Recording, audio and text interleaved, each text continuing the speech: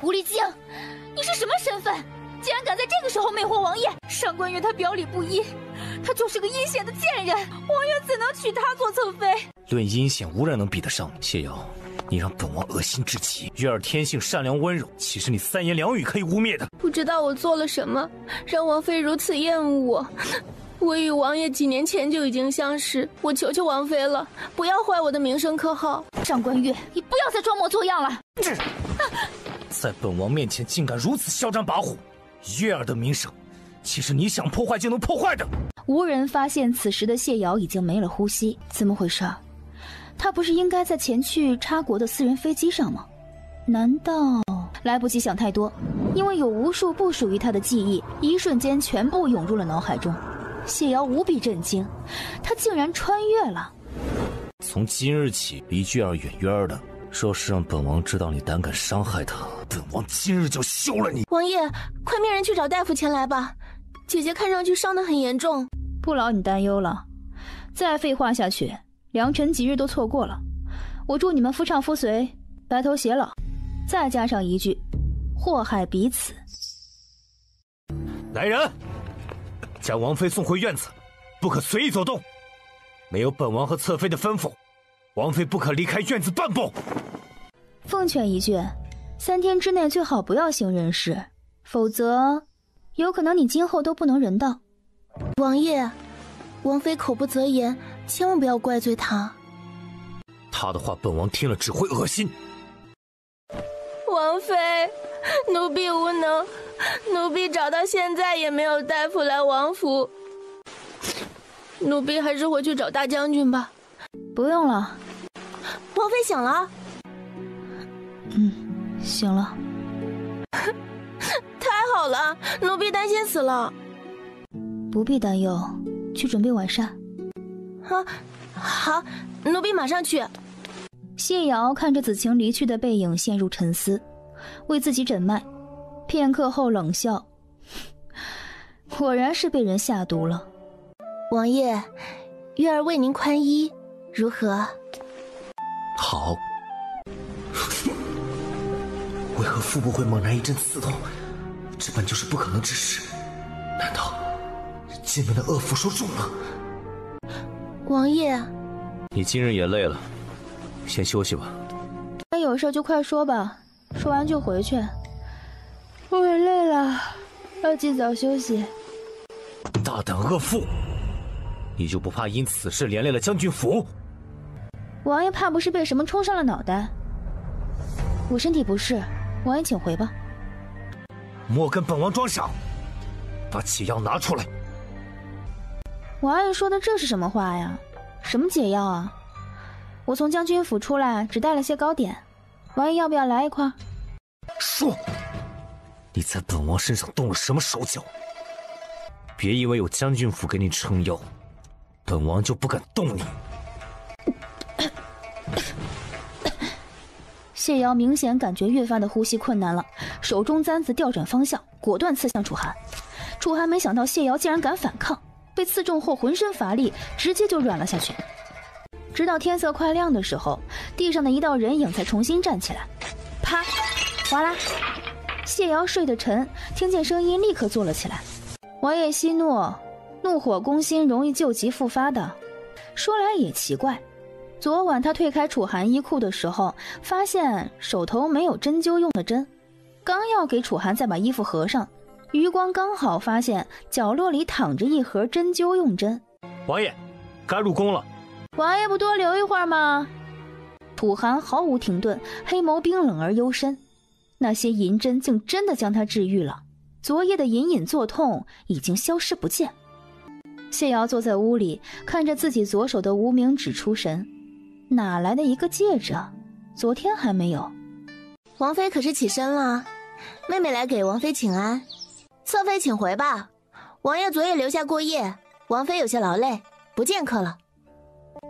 刚好妹妹知晓几个补身的方法，让王妃选一选，也好尽快恢复身子。让她进来吧，我教教她如何讨王爷欢心，以免日后大半夜的再把王爷气走了。王妃怎么才用早膳？王爷最不喜欢人懒散。快快将这些都撤下去吧，若被王爷见了，必定震怒。王爷说了，就是喜欢看我懒散的样子。胡说八道！王爷向来自律，对身边人也是如此要求，绝无例外。王爷有多讨厌你？昨天给你几个耳光还不够清楚吗？我还一时分不清好坏，后来幡然醒悟了，发现我国色天香，岂是你这种庸脂俗粉的人能比的？谢瑶，这正妃之位你是如何坐上的？京城上下无人不知，王爷只要提到你的名字，就厌恶至极。男人嘴上说厌恶，实际上就是喜爱到骨子里。不然，昨夜也不会把你扔下，来我这儿了。谢瑶，你何必厚颜无耻？你敢打我？上官月，不想死就滚远点！你以为我不知道你对我下过毒？我不知道你在说什么。既然已经请过安了，我还有事。慢着，你要干什么？记住我今天说的话，日后不要再过来恶心我。否则，我一定会让你明白招惹我的下场。王妃，是管家云伯被府里的马踩踏，怕是活不过今晚了。云伯的伤势很严重，奴婢也不知。刚才这几个侍卫七手八脚的，刚把云伯抬回去，等着御医来呢。谢瑶无语，骨折最忌讳挪动。那几个侍卫是嫌云伯死的慢了吗？快带我去看看。太严重了，节哀顺变吧。伤者伤势过重，我的建议是，尽早准备后事，别等人死了再筹划，太过仓促。不是爷爷，求您再救救我父亲吧！如此严重的伤势，连神仙下凡也救不了你父亲，你是要败坏老夫的名望吗？啊，王妃怎么在这里？谢瑶抬手就是一个耳光，你一个下人，看见我却不行礼。你家侧妃就是这么教你的？区区一个下人想爬到我的头上？奴婢见过王妃。谢瑶挑了下眉，径直往里走。王妃要干什么？这里不欢迎王妃。我爹伤得严重，王妃千万不要再打扰他。治病。谢瑶，你滚出来！你要干什么？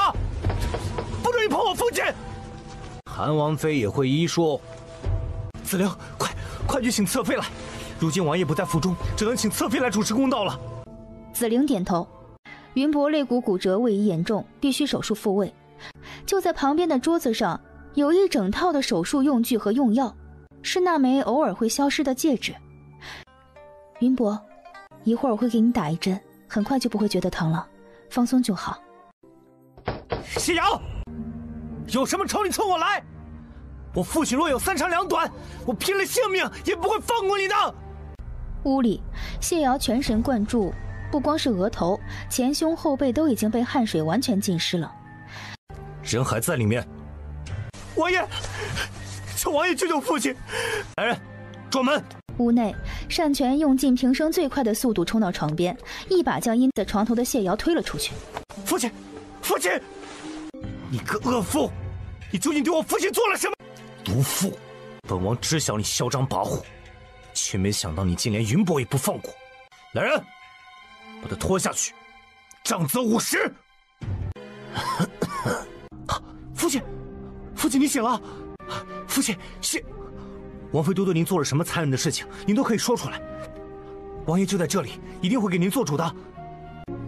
王妃不是害我，她是在救我。父亲，您莫不是病糊涂了？是他刚刚要让您伤上加伤，你怎么还帮他说话呢？云博缓缓摇了摇头，看向谢瑶的方向，投去一个感激的眼神。他实在虚弱的说不出话了。就算云博能说，谢瑶也听不到，因为他已经累得睡着了。王妃，请留步。谁让你们站在这里的？王爷有令。王妃禁足期间不得擅自离开，命人将善全带来。卑职有命在身，不可擅动。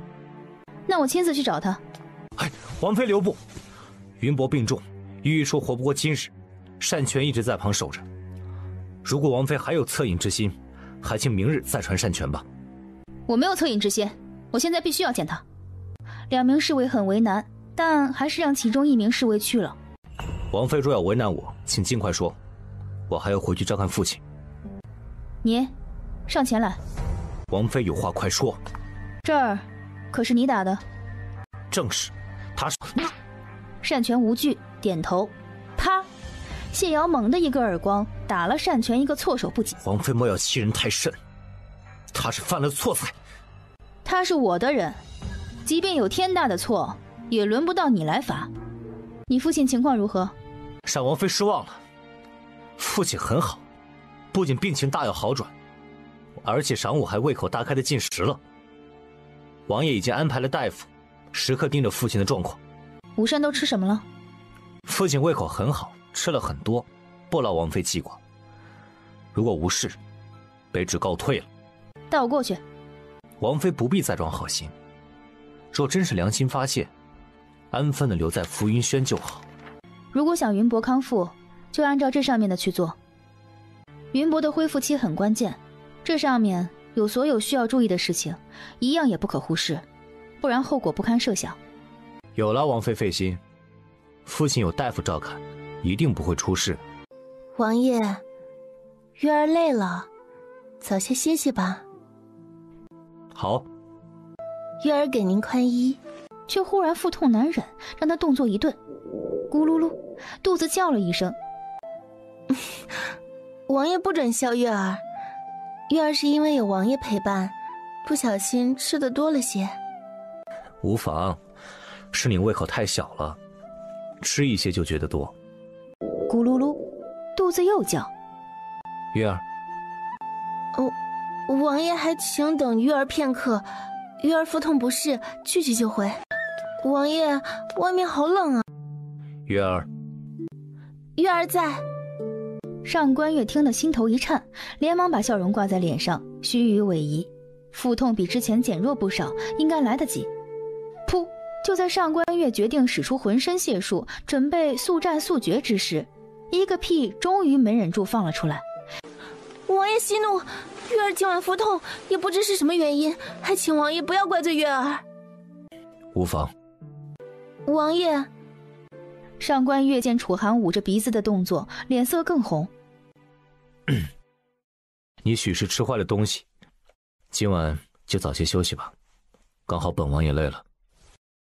侧妃，王爷怎么走了？立刻去查，今晚是谁给我下了毒？侧妃中毒了，快去！上官月脸色再变，连忙捂着肚子飞奔而去，害他在王爷面前出丑，他一定要把人给揪出来。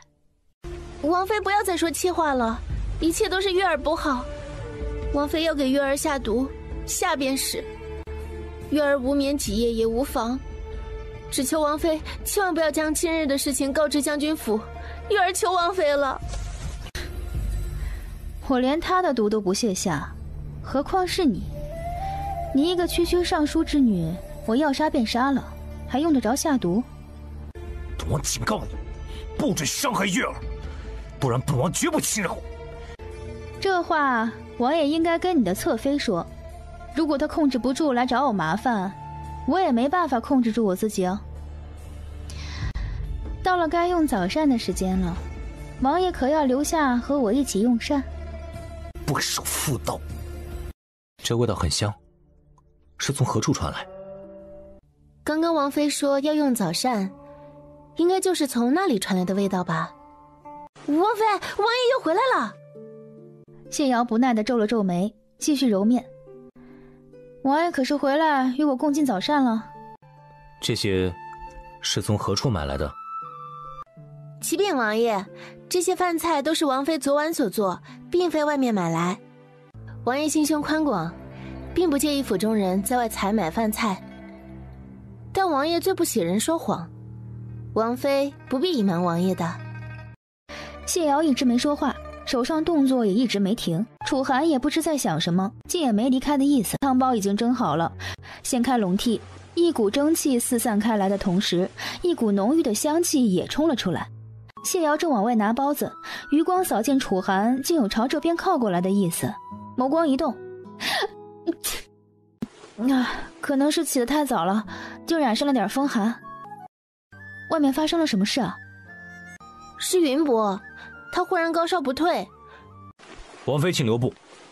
云伯发烧了，我去看看。云伯其人自有天相，已经撑过了昨日，请王妃放过云伯。告诉善权，如果大夫无法处置，一定要来见我。王妃放心吧，有大夫在，怎么可能有问题？公子尽早准备吧。英尊伤口已经出现溃烂，且高烧不退，脉搏是虚弱无力，就算是神医下凡，也无力回天了。糜大夫，您再帮忙看一看吧。昨日不是也说我父亲挺不过去，可还是挺过来了。唉，节哀顺变吧。单权，快进屋，云伯醒了，要见你。父亲不必担心，我已命人去叫大夫了，你很快就会有好转的。不必伤心，生老病死是任何人都都无法抗拒的事情。我只不过是先走一步而已。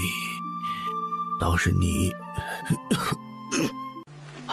父亲放心。我一定会给您报仇的，不管那个恶妇有什么身份。你个孽障，万万不可！若非王妃为我医治，我怕是昨天就已经死了。你成为王府管家后，要懂得对王妃感恩。他救了你，这怎么可能啊？云博知道善权不信，便把当时的情况简要说了一遍。单。权听完，心头一震，立刻起身往外面跑去。父亲放心，我一定把王妃给您请来，就算是用跪的，我也把她给求来。王妃，卑职知错了，是卑职错怪了您，还请您大人大量救救我父亲吧。云博怎么了？父亲高烧不退，且伤口溃烂，脉搏虚弱，大夫说过不了今晚了。走，带我去。王妃请留。我父亲病重，急需王妃过去，还请二位高抬贵手，还请王妃快去快回。出去，在外面等我。没有我的命令，任何人不能进来，即便是王爷也不行，否则后果自负。这，卑职知道了。他先给云伯服下退烧药，然后打了一针抗生素和麻醉剂，开始清创。没想到王妃如此大胆，侧妃需要奴婢再入宫一趟，将此事禀报给王爷吗？王爷公务繁忙，不要因为这种小事去打扰王爷。王妃做事有分寸的，我们不必插手。那善权那边，你过去一趟，安慰一下善权，顺便劝一句。不听便罢。云博吃什么吐什么，就是因为之前手术完毕，没有来得及排气就进食导致的肠梗阻，不过不严重，无需再次手术治疗。布置好胃管，他又取了一袋生理盐水给云博静脉输液。谢将军，我的建议还是断臂吧。您的伤势太过严重，毒素已经渗入骨头之中，若不及时断臂，怕是会有性命之忧啊。启禀将军，韩王妃的情况已经打探清楚，我妹妹近况如何？回将军，都在上面。卑职替父亲谢王妃救命之恩。这几日。云伯不能进食任何东西，连水都不能喝，除了用膳的时候，其他时间我偶尔也会过来。我父亲什么时候能醒来？少则两刻钟，多则小半个时辰。王妃，您可算回来了，有人在屋里等您呢。啊，不见，不管他是谁，让他回去等着。妹妹成了王妃，连我这个哥哥都拒而不见了。哥，你怎么回来了？知道你大婚。本打算回来参加你的婚事，结果路遇暴雨，耽搁了。无妨，现在回来也一样。哥，我们进屋聊。子晴，去沏茶。家人的感觉如何？如果有人欺负你，就告诉我，我帮你。等我解决不了了，一定会找你的。楚寒在哪儿？带我过去。你只管跟在我身后就好。谢文武直呼其名，起身就要往外走。周身杀气轰然爆发，文若书生摇身一变成了阎王判官。他一把拉住谢文武的肩头，轻轻一笑，刚要说话，却见谢文武身体一僵，手上一片湿漉漉的感觉。收回来一看，手上竟沾满了血迹，伤了。目光沉凝，眉头紧皱，一触之下便有如此多的血迹，伤口必然不小。若是处置不当，造成感染，危及生命也不是没有可能的事情。受了这么重的伤，想的却是为他报仇。无碍，坐下，请御医看过了，无碍的。你中毒了，你能忍住疼吗？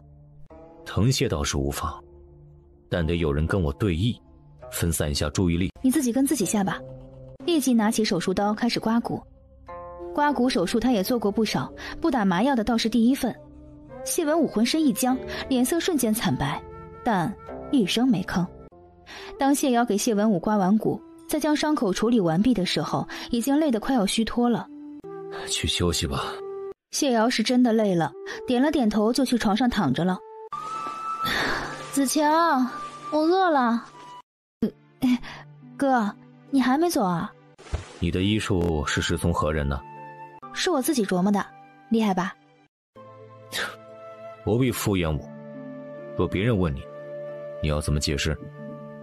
切记，若无绝对的把握，你的医术不可轻易示人。让我看看你体内毒素是否清理干净。谢文武的毒都在骨头上，既然已经处理完毕，自然是清理干净了。但是随着脉搏跳动，他的眉头渐渐皱紧，毒素还在，而且比刮掉的要强盛数倍。你中毒了，慢性毒，具体是什么暂时无法得知。此事不可告诉任何人。是皇家。不可妄言，这些话不可对第三个人说起。不然会引来杀身之祸。谢将军何时来到我的韩王府？本王竟不知晓。许久不见，韩王看上去似乎有些憔悴。新婚燕尔，还是要适度的好。见过谢将军。谢将军带伤归来，不在府中养伤，来我韩王府所为何事？自然是替我妹妹讨个公道。本王与王妃如何？是本王的家事，无需外人插手。我只知谢瑶是我妹妹，不论是谁要欺负她，我都不会姑息。今日是王爷大婚第三日，三朝回门，还请王爷准备好东西，跟我一起回一趟将军府吧。谢将军说的在理，我这就去帮王爷安排。韩王，你这样未免也太穷酸了些。让将军见笑了，王爷向来节俭，又对下人慷慨，所以，哥，别吓到侧妃，王爷对她很好，还给她准备了丰厚的回门礼。韩王，你这是要宠妾灭妻吗？无妨，去把给侧妃的回门礼取来。是。既然如此，侧妃的回门礼就用舍妹的吧。该死的谢瑶，为什么老天对谢瑶那么好，要让谢瑶有一个如此宠爱她的哥哥？见过韩王、韩王妃，免礼。女儿见过父亲。哈哈哈！快起来，不必多礼。瑶儿又漂亮了，快过来，让为娘的仔细看看。这是给您准备的，有养颜之效。瑶儿就是孝顺。还以为是什么好东西呢。谢瑶，你在韩王府是不是不受宠啊？怎么拿回来送人的东西如此寒酸？这么好奇我在韩王府受不受宠？去问韩王就会知晓答案。你，谢卓见过王爷。我姐平日里在将军府性子有些骄纵，还望王爷不要怪罪。王爷喜欢的。就是我与众不同的骄纵。见过父亲，王爷，晚膳已经备下，还请王爷入席用膳吧。本王还有要事未曾处理，不能在将军府过夜，谢将军见谅。韩王如此着急，真的是因为公务吗？放肆！王爷繁忙，自然是公务要紧，无碍。王妃，请留步。老将军身体欠佳，不见客。李伯，祖父还在生我的气呢。这两日都不能提您的名字，一提老将军就生气，最近身体又不好。莫离，啊，末将在，让闲杂人等远离，我要睡了。是。祖父还没用晚膳吧？送客。莫离，你再不把人送走，我打断你的狗腿。王妃，您还是回去吧。李伯，还请告知祖父是否用过晚膳。御医来看过了，说建议饮食清淡些。结果这几日都是清粥小菜，老将军吃不到肉，气得干脆就绝食了。今日刚开始绝食。是啊。谢瑶唇角微勾，有办法了，回头吩咐子晴去准备些东西。王妃，您是要烤鸡？什么味道这么香？祖父，孙女知错了，只怪孙女一时糊涂，做了鲁莽之事。还请祖父不要再生孙女的气了。王妃使不得，即便是要跪，也去屋里跪啊！在这里，老将军如何能看到啊？我跪，并非是为了祖父看到，而是让我自己清楚当初究竟犯了多大的错误。哼，好一个为了让自己清楚！起来吧。多谢祖父。你这烤鸡的手艺是跟谁学的？闻起来还挺香。要烤多久？祖父稍安勿躁，稍等一会儿就好了。不过在此之前，孙女儿得给您诊一诊脉，万一您吃了孙女儿的烤鸡出了问题，孙女可担待不起啊。你何时又学会了诊脉？这几日在王府学着玩的。学着玩？拿我练手来了？嗯，没问题。您呀，可以吃烤鸡了，不过要适度，不可多吃。祖父竟然也中毒了。祖父。吃了这个就不要生孙女的气了吧。卓儿，你怎么起得这么早啊？母亲，谢瑶今日应该会回韩王府吧？我想一同前去韩王府看看。我想要去做客，谢瑶没理由拒绝的。不可。为什么？现在谢瑶根本不受宠，我过去不是刚刚好吗？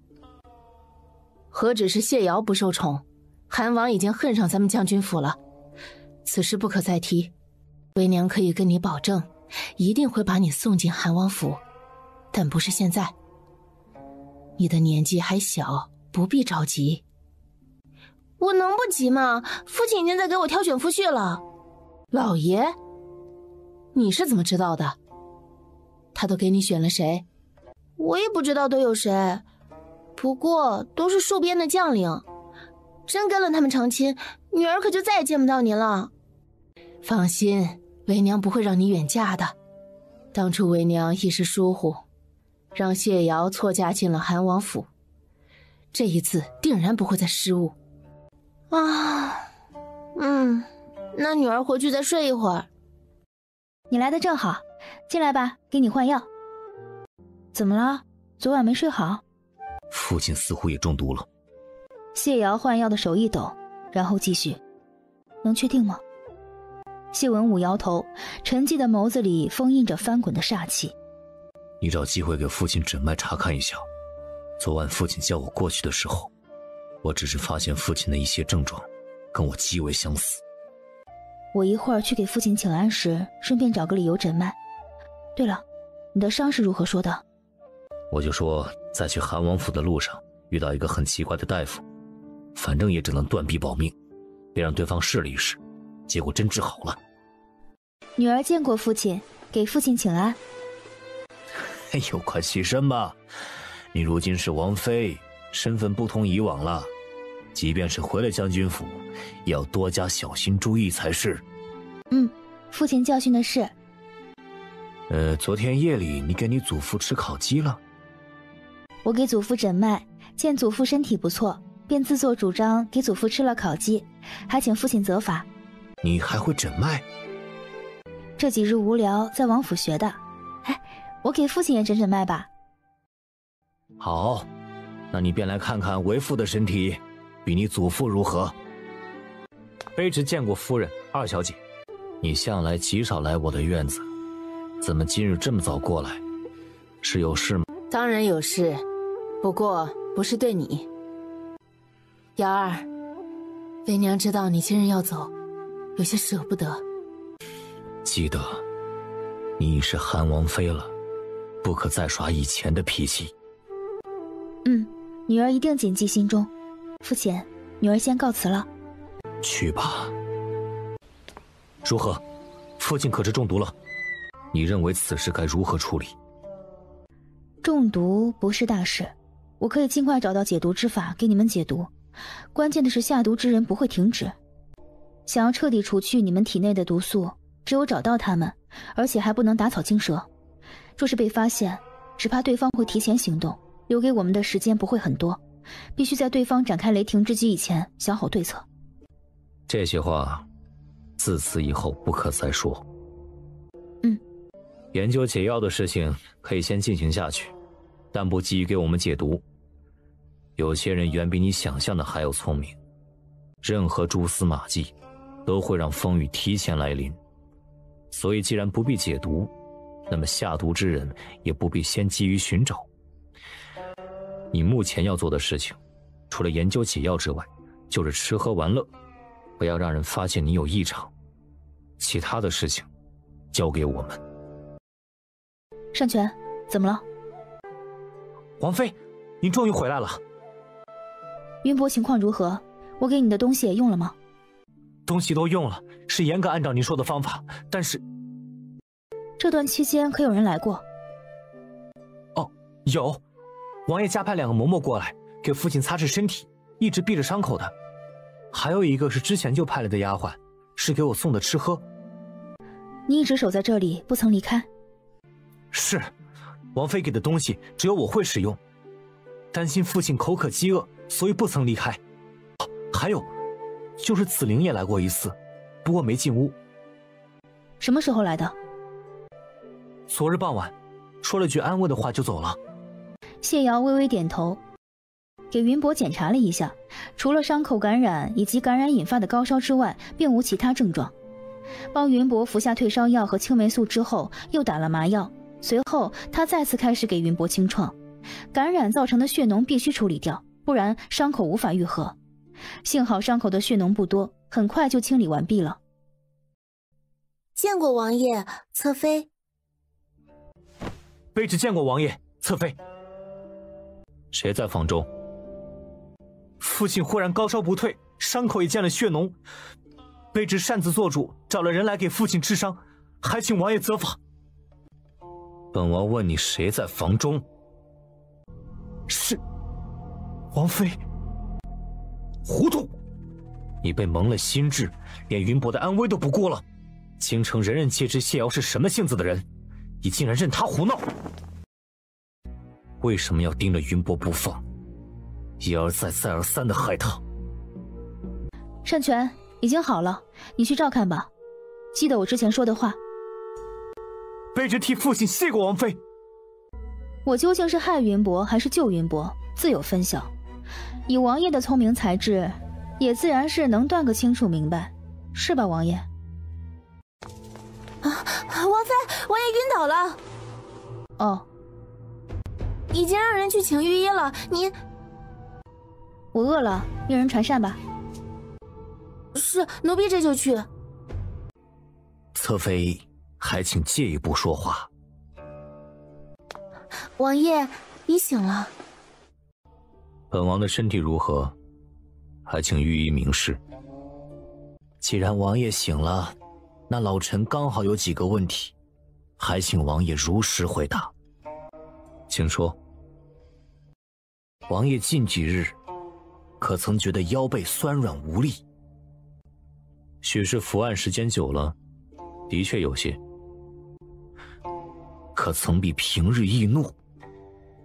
嗯。老臣问完了，但说无妨。本王身体究竟如何？那老臣就直说了。老臣知晓王爷是新婚，而且还是妻妾同娶，但有些事情还是要节制。本王的身体可还有其他不妥之处？王爷身体康健，只需稍作节制。便可快速恢复如初。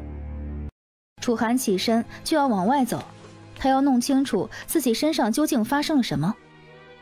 王爷去哪儿？外面寒凉，多穿件衣服。你休息吧，本王出去走走。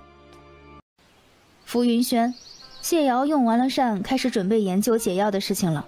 忽然，无名指的戒指又闪了一下。谢瑶微微皱眉，从回府到现在不过半日的功夫，戒指就闪了两下。难道云波又出事了？正疑惑的时候，楚寒来了。奴婢见过王爷，在门口守着，没有本王的命令，任何人不得进来。还请王爷将门打开。这光天化日的，这是本王的府院，这里自然是王爷的府院。王爷坐着吧，我出去行了吧？站住！本王有事找你。是休书写好了？坐回去。上一次你为本王针灸的时候，有没有将本王体内的毒素全部清除？哼！回答本王。王爷之前不是说是我给你下的毒吗？忽然扑通一声传来，他抬头一看，竟是楚寒倒了。探头看了一眼，楚寒一双剑眉紧皱，额头已经见了冷汗，显然是疼得不轻。看着楚寒那双又惊又怒的眸子，他微微一笑，从身后取过一支麻醉针来，给楚寒注射了进去。谢瑶熟悉的取出银针，熟悉的退掉楚寒的衣裤，露出熟悉的患处，开始行针。针灸完毕，谢瑶抬手擦了擦汗，直接上床躺着去了。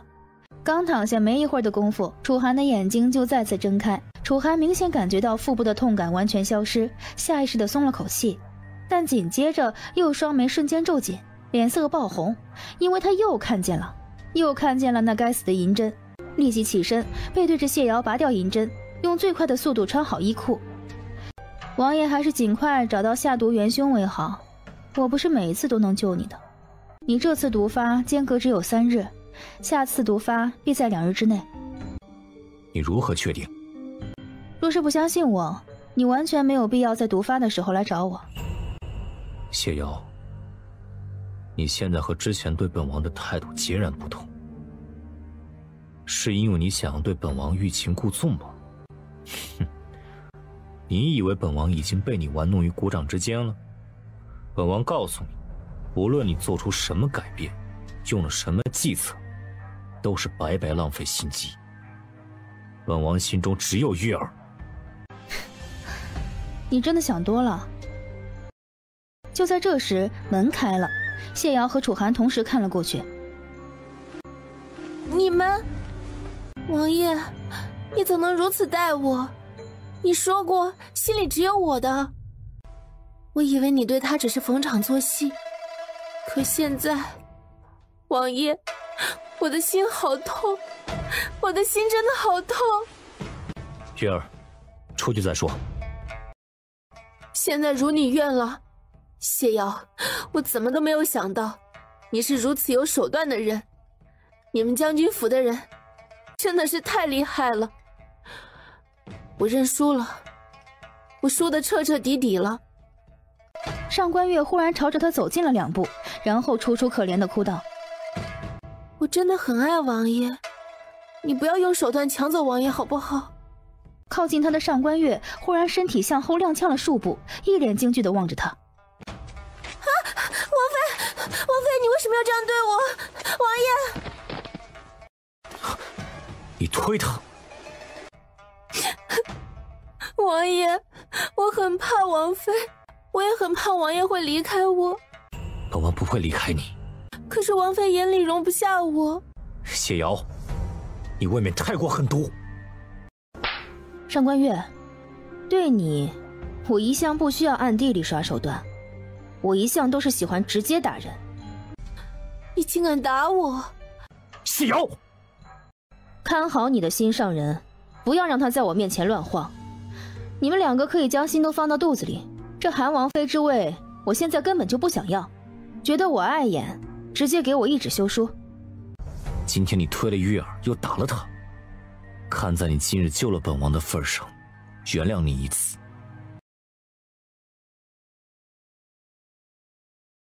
收拾一下，我们出府一趟。是王妃。已经逛了不少药铺，要买的东西也买的差不多，从头到尾只用了大半个时辰的功夫，可以说是非常有效率了。子晴抬头看了一眼前面，眼睛一亮，下意识道：“醉仙楼。”闲人避让。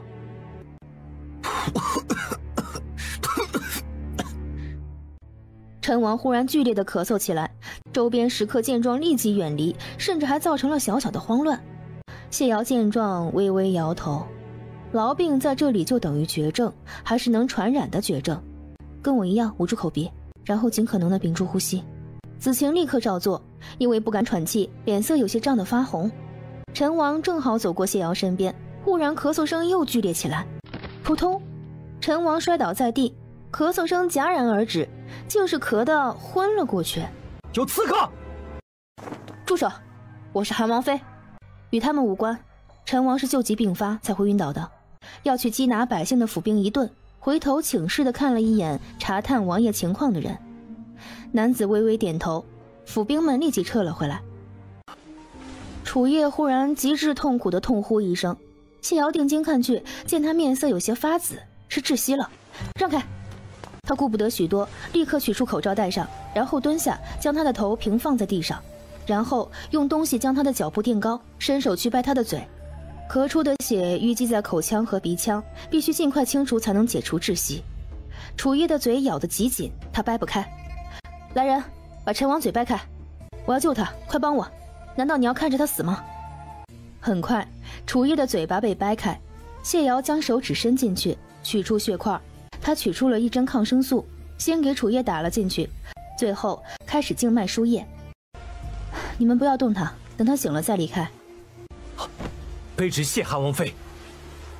喏，这里面的药按时给陈王服用，应该可以让陈王咳嗽的症状有所减轻。多谢韩王妃。今日的事情，希望不要有他人知晓。我留下来的这些东西，皆是一位医者赠予，不想招来任何麻烦。请韩王妃放心，刚刚王爷昏迷，是韩王妃出手救了王爷。韩王妃，她不怕吗？不嫌弃吗？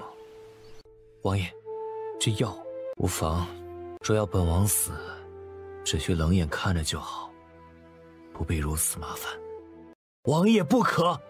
王爷，老臣从未见过这种形状、颜色的药物，怕……所以你从未治好本王的病。王爷，请尝尝我的手艺。这些都是你做的？月儿一直都会做，只是府中有厨子负责膳食，才不曾展示。有心了，我尝尝。王爷，是鸡汤，刚刚做好，没有一刻钟，小心烫。怎么样？不错，你的厨艺极佳。王爷喜欢，以后我就经常做给王爷吃。明日再喝。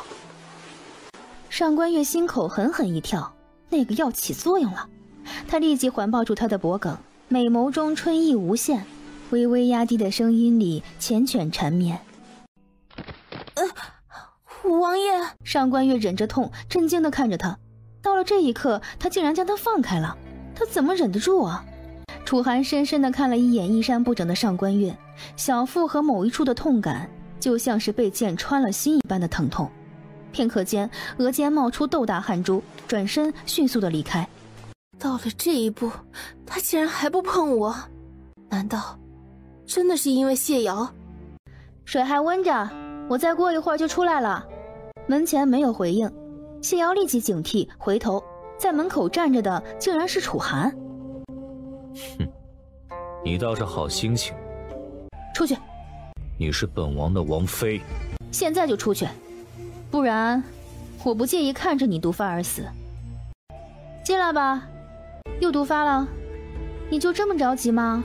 刚把毒素压制下去，多等几天不行？我是王妃，不是御医，没有专门给你压制毒素的责任。少废话，快给本王解毒。躺下吧，老规矩，不过这次你要自己脱。之前的奇怪小管子还有吗？或者用簪子也行。都没有。你不要得寸进尺。本王若毒死在你的房中，你也有摆脱不了的干系。无妨，等你毒发了再扔出去便是。不会死在浮云轩的。或者你现在离开也行。天色不早了，我也要睡了。楚寒恨得咬牙切齿，两条腿好像灌了铅一样，无比的沉重，连他自己都不知道是怎么走到那块空出来的地方，并且躺下的。一种说不清的感觉，酥酥麻麻的，一点也不疼，跟那些御医的针灸感觉完全不同。很快，第二针落下，他几乎立刻就感觉到小腹的剧痛被减轻了。扎下最后一根银针，谢瑶长出了一口气，擦了擦额头的汗，起身回到床上。本王要等多久？一炷香时间。唉，时间到了，你自己拔了针出去吧。你可会解催情之毒？唉，不会。你不是从上官月那里过来的吗？直接回去找他解毒便可。想办法给本王解毒。我说了，我不会解你的催情毒，难不成你让我以身解毒不成？无耻！不要打扰我睡觉。明日父皇为历年风调雨顺，感谢上苍设宴，你随我入宫一同参加。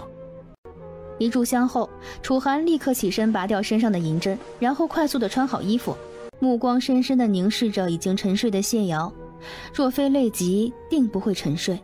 他刚刚救他时的专注和认真不是假的，眼中的疑惑加深，同时又有一些不解的神色一闪而过。就在这时，小腹的热感再一次袭来，想都没想，直接开门离开了，直接回到自己的住处，泡了个冷水澡。王妃，单群一直在院外候着呢。卑职见过王妃。有什么事情吗？一大早将军府便差人送来了这个，说是给王妃的。管家有心了，云伯的情况如何？好，多亏了王妃救治，目前父亲一切安好。今早的小米粥吃的也比昨日多了一些，精神也好了许多。王妃实在是太漂亮了，您穿着这件青衣，再配上您的妆容，就好像仙子下凡，实在是太美了。走吧。是。可查到了什么？凡是有机会触碰到您膳食的人，卑职都逐一仔细查过，目前还没有收获。再将范围扩大些，继续查。王爷，我们何时出发？楚寒示意吴峰退下，回头看了一眼府内，远远扫见了谢瑶的青色身影，眸光顿了顿，便迈步上了马车。回去多准备些食材。是。谢瑶目光扫了一眼府外，看见有两辆马车，便直接上了第二辆。想必楚寒不愿跟他同乘一辆马车，他刚好也是如此。吴峰就在第一辆马车旁，那他上第二辆便是。吴峰看见时已经来不及了，刚上车，谢瑶就看见马车里不只有楚寒，还有上官月，当下眉头一挑，楚寒这是嫌大婚当日妻妾同娶还不够。入宫参加宴请，也要趁机踩他一脚。楚寒没想到谢瑶竟上了这辆车，余光扫见那抹青色，一时间脸色有些怪怪的，心中暗骂吴峰办事不力。上官月正一脸娇柔地靠在楚寒身旁，忽然看见谢瑶竟也上了马车，瞬间满脸惊讶，偷瞄了楚寒一眼，后者双眸微闭，根本不做反应，这让上官月心头一沉，难怪他刚刚不急着上车。竟是在等谢瑶。马车缓缓地朝着宫门方向行驶过去。皇宫，楚寒入宫自然是先给母妃请安。三人一同朝着静妃的宫殿走去。那不是韩王吗？怎么身后跟着两个人啊？其中一个好像是韩王妃。自然是韩王妃。今天皇上宴请，将军府的人是一定会到场的。你说的对，这种时候啊，韩王还是要给将军府面子的。嘘，别乱说话，小心惹来杀身之祸。楚寒黑眸深了几许，周身冷意拂散，脚步快了些许。儿臣给母妃请安。儿媳给母妃请安。快平身吧。月儿，你许久没有入宫给本宫请安了，快过来，让本宫看看。是月儿疏忽了，还请母妃责罚。无碍，你刚刚大婚，有时间自然是要陪在涵儿身边的。多谢母妃谅解，等月儿有时间，一定常进宫来陪母妃聊天。好，果然是个懂事的，涵儿没有选错人。本宫去更衣，你们先过去吧。是。三人往前走着，越走人越多，很快就抵达了宴会之地。谢瑶闲来无趣的四处打量，刚好看见谢文武，想了想便走了过去。一个侧妃，也能配参加宴请？我有事和你说。什么事？我让人传回去的消息收到了吗？将军府可有三丁草？如果再早两日说，府里还有一株三丁草。两日前那株三丁草已经上交国库了，你也不用着急，我已经派人去寻了，只要找到，就会立刻送到将军府。你先做其他事情就好。嗯，尽快吧，找到三丁草就可以配制解药了。就差三丁草了，还是我妹妹厉害，不愧是我妹妹。一会儿不要喝酒，非喝不可的话就少喝，对伤口愈合不利。你的伤必须尽快好起来，别拖将军府的后腿。谢瑶又问了几句，然后让谢文武平时多小心谨慎一些，便回了韩王府所在的席位。上官月，别忘记了自己的身份，你只是个妾。我不是故意占着王妃的位置，还请王妃不要生气。她不过是坐下陪我说会儿话，韩王妃的气度该不至于如此狭小吧？易王妃若不嫌弃，去那里聊就是了。易王妃气得脸色一沉，她是正妃。又不是侧妃，立即转过头去，不再说话了。很快，皇帝率众妃亲临，宴会开始。啊，夫君，你怎么了，夫君？王御史晕倒了，快快请御医。是贤正，可有人懂医啊？贤正需要尽快医治，等御医来，怕是来不及了。我懂医术，让我来吧。是许御医的女儿，这回王御史有救了。谁来帮忙摁住？千万别让他把帕子吐了，容易咬舌的。许小姐，然后该如何啊？等等御医吧。啊？我怎么看着王御史的样子没有改观，反而脸色极差呀？王妃，你说是不是？毕竟你才是懂医的。御医何时才能到呀？这可如何是好呀？王妃大胆放手去做就是。他们不信你，我信你。医者仁心，王御史癫痫发作的如此难受，我相信你不会见死不救的，对吧？先将王御史嘴里的帕子拿出来吧，然后松开他，无需压制，撤去王御史周围的东西，以免他误伤到自己。另外，王御史身上若有过紧不利于呼吸的扣子，也可先行解开，顺畅呼吸。等病症发作结束，再找一个软垫子垫在王御史脑后，歇息片刻之后，再看情况将王御史扶起。不要急于挪动它，还有，请诸位尽可能的移开些，给王御史流畅的空气呼吸。你要做什么？如此安排是何居心？难道你要眼睁睁的看着王御史病发致死不成？本王的王妃的确懂医，之前府中管家被马踩成重伤，就是被王妃所救。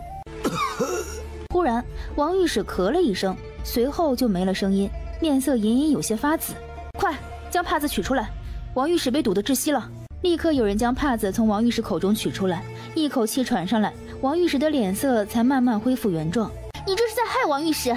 若王御史咬舌，你便有脱不开的干系。咬舌的风险还是有的，最好将帕子卷成绳子状，从御史的嘴里系到脑后。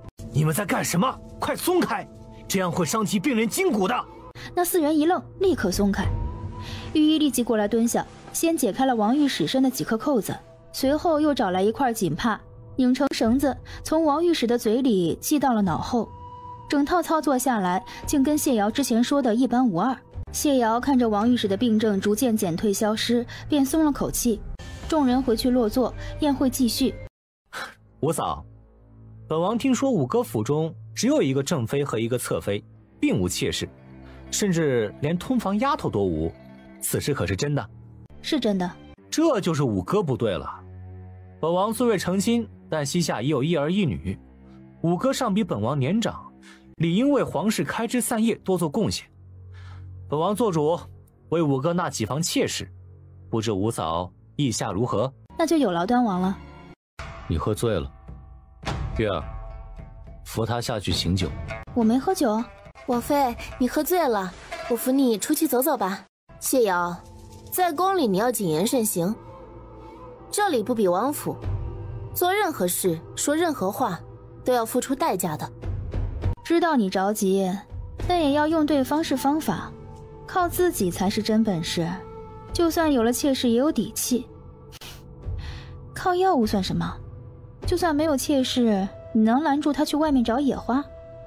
上官月一下就听明白了，脸色气得微红。王爷果然又去找谢瑶了。又过了一会儿，似乎楚寒也没有了参宴的兴致，很快便出来了。三人出宫，上了马车，返回韩王府。这次上官月意外的自己独乘一辆马车，楚寒和谢瑶共乘一辆马车。你为何同意老八的提议？端王说的有理啊！你身为皇子，身负为皇家开枝散叶的重任，那你为何不亲力亲为？为本王排忧解难，王爷应该不想在马车上昏睡不醒吧？若非本王当场拒绝了老八，怕是如今府里已经多了几个妾了。那岂不是更好？王爷可以夜夜笙歌了。你们男人都是希望三妻四妾的，不是吗？楚寒的脸色瞬间黑到了极点，周身寒意骇人，竟是直接翻身跳下了马车，疾步而去。浮云轩。谢瑶刚进院子，就看到了一个不想看到的人。姐姐，你这是什么表情？是不欢迎我吗？近日在将军府待的无聊，便打算来姐姐这里住上几日。子晴，还不快去给我收拾房间？我这院子有些破旧了，而且王爷也不常来，不如你去上官侧妃那里住吧。王爷昨晚还在紫烟阁留宿了。子晴。带我去紫烟阁，二小姐这边请，奴婢给您带路。上官侧妃在里面吗？是谢二小姐吗？直接进来便是。我那王妃姐姐不明事理，把我安排过来给上官侧妃添麻烦，还请上官侧妃见谅。谢二小姐应该已经及笄了吧？是否定下了婚事？我年纪尚轻，不急的。不小了。我在你这个年纪的时候就已经结识韩王了。你若是没有中意的，我倒是可以帮你挑选几个。不劳上官侧妃费心了。我听说上官侧妃今日和韩王殿下入宫赴宴了，韩王殿下果然是最看重您的。谢二小姐刚到王府，对王府还不熟悉，本该我带你四处转转的，但我身体抱恙。便让紫菱替我吧，谢二小姐这边请。不急，如果上官侧妃不嫌弃的话，我打算多住几日，四处转转也不急于一时。而且我觉得与你十分投缘，想要多聊几句。我累了，要休息了。您是哪里不舒服？我也略懂些医术，可以帮您看看。请谢二小姐自重，侧妃身子抱恙，自有御医诊治，无需他人插手。谢二小姐，这里是韩王府。谢二小姐是将军府的贵客，想多住几日当然无妨。但如果谢二小姐存了别的心思，还请仔细收好，以免惹人生厌，坏了将军府的名声。谢卓听完，脸色也不好看，只能起身告辞。但刚走到院子里，他面色瞬间一喜，韩王回来了。见过韩王殿下。楚寒眸光一冷。从鼻子里哼出一个音，算是应答，看都没看一眼就迈步走了过去。王爷莫气，谢二小姐不过是来住几日而已，不会长的。而且王妃开口了，我也不便驳了王妃的面子。若王爷不喜欢，我再将谢二小姐安排到别处就是。不必。楚寒摆了摆手，有些心不在焉，起身竟是要出去。王爷要去哪里？我已经命人去备下食材。王爷有什么要吃的，我亲自下厨。本王还有事要去做，你先吃吧。送走了谢卓，谢瑶就开始准备美食来填饱自己的肚子了。主仆二人在小厨房里一顿忙碌，渐渐的香味飘散开来，飘出了小厨房，溢满了整个院子。啊，奴才见过王爷。因何魂不守舍？王爷恕罪，奴才刚才经过王妃的院子，闻到了香味，所以才冲撞了王爷，还请王爷恕罪。韩王来到浮云轩院门口，闻到了里面飘散出来的味道，迟疑了下，还是迈步走了进去。子晴第一时间看见楚寒，刚要行礼就被制止了。楚寒挑眉站在小厨房的外面，看着动作流畅、完全没有一丝停滞的谢瑶，黑眸闪烁。他竟不知谢瑶的厨艺当真如此的好，就好像谢瑶的医术一样，他也从不知情。见过韩王殿下，姐，你做的是什么啊？好香啊！子晴，拿两副碗筷。韩王殿下，我姐姐的手艺很好，你也一起吃一些吧。他刚在宫中赴宴回来，不饿。谢瑶头也不回，朝着炒勺里撒了把盐巴，盛出一大盘放在一边，随后又往炒勺里撒了些盐巴，搅拌开来，盛在另外一个小盘子里。闻着味道不错，多吃几口也无妨。我吃饭不喜欢所有人从一个盘子里夹菜，这些肉是吃完了，就多吃些米饭吧。好不容易做了一桌子饭菜，自然是要大快朵颐的。分出去的那些，嘿嘿。见谢瑶吃得香，楚寒挑眉多看了一眼，然后也夹起一块田鸡放入口中。舌头触碰到田鸡，下一秒他就被惊艳了。现在完全可以确定，这味道御厨绝对做不出来。这是他吃过最好吃的田鸡。这菜叫什么名字？爆炒田鸡。如何做的？放油，油热了放蒜，蒜香了放田鸡。田鸡熟了放调味料，最后放葱。出锅前放盐。楚寒听完挑眉，虽说美味，但不宜多吃，有些咸。子晴，上茶。王妃，将军府来人了，说，哦，见过王爷。来人说什么了？说老将军身体抱恙，请王妃回将军府一趟。送信的人呢？已经回去了。子晴，收拾东西，拿上药箱。王爷，我回去一趟，请给我备辆马车。山泉，备马车。姐，我们一起回去吧。祖父昨日还好好的，不知是怎么了，我有些担心。那你再单独乘一辆马车便是。我来之前已经命人去备马车，这会儿应该是在府门口候着了。谢瑶点头，拿上药箱，带着子晴风风火火的快步离开傅云轩。谢二小姐，请自便。将军，唉，老将军的病症来得很急。恕老夫无能为力了，老爷。请问御医，我父亲究竟得的是什么急症？这老夫才疏学浅，老将军的病症是老夫生平仅见，还能撑多久？少则一两个时辰，多则三五个时辰吧。老爷，还是尽早准备吧。不能让别人看了咱们将军府的笑话。谢瑶回来了吗？已经命人去叫了，应该很快就回来了。父亲，祖父情况如何？你回来的刚好，快进去吧。你祖父昏迷的时候还念叨着你。妹妹，放手去做吧。谢瑶刚刚把门关上，就闻到了浓重的血腥味。祖父吐血了。刚进到里面，地上的两滩血迹证明了他的猜想。如果有听诊器就好了。念头刚落，手边便出现了听诊器，他直接挂在脖子上给祖父听诊，如他之前给祖父诊脉的结果一样，祖父的五脏六腑都没有问题，只是心脏跳动缓慢，力道薄弱，心音都是勉强才听到，不需太久，心脏便会无以为继，彻底停止工作了。最关键的是，他现在查不出症结所在，无从下手。多巴胺，要多巴胺。戒指温热了一下，多巴胺出现。他立刻把调好的多巴胺给祖父静脉注射进去，用棉签从没来得及干涸的血迹上采样，随后心中默念：紧急化验。再睁眼时，手中的棉签已经不见了。他看了祖父一眼，多巴胺生效了。他于是开始了一系列的常规操作。不论祖父是中毒还是心脏病症，他的操作都会有效。老爷，让瑶儿出来吧，她毕竟是韩王妃，在里面待的久了不好。瑶儿还没出来吗？文武，你进去把你妹妹叫出来。父亲，您伤心过度，先回去休息吧，这里交给我就好。妹妹莫要伤心过度，再陪祖父待一会儿，就出来吧。祖父，你醒了。祖父，您的身体很好，为何会突然如此？最近可否吃了什么异常的东西？谢老爷子也不说话，虚弱无力的抬手指了指床边的一个柜子。谢瑶立即起身过去，在最下面的抽屉里找到了一张纸，上面写了三味中药，还有一些煎制的方法。你是让我拿这个吗？照着上面去做，把药煎好了拿给我，我喝完便无事了。父亲，你醒来了吗？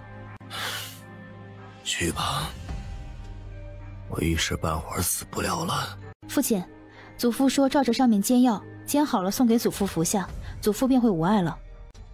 刚说完，戒指忽然温热了下，化验结果出来了。此时他忽然明白了那张纸的三味药材为何看上去有些奇怪。那三味药材都是这个世界独有的，而且凑在一起会有毒性。而化验结果里也有三味药材的名字，同样也是凑在一起会显示出毒性。这两种毒性是相克的。祖父在以毒攻毒，而且是在中毒之前知晓了解毒之法。所有人都出去，只留莫离伺候便可。没有我的命令，任何人不得打扰。瑶儿，你留下。是父亲。你本不该回来，更不该医治我。可还记得我说过，若你日后有难，将军府。定会尽最大的能力帮你，但若将军府有难，你断不可牵扯其中。孙女记得。那你为何还要牵扯进来？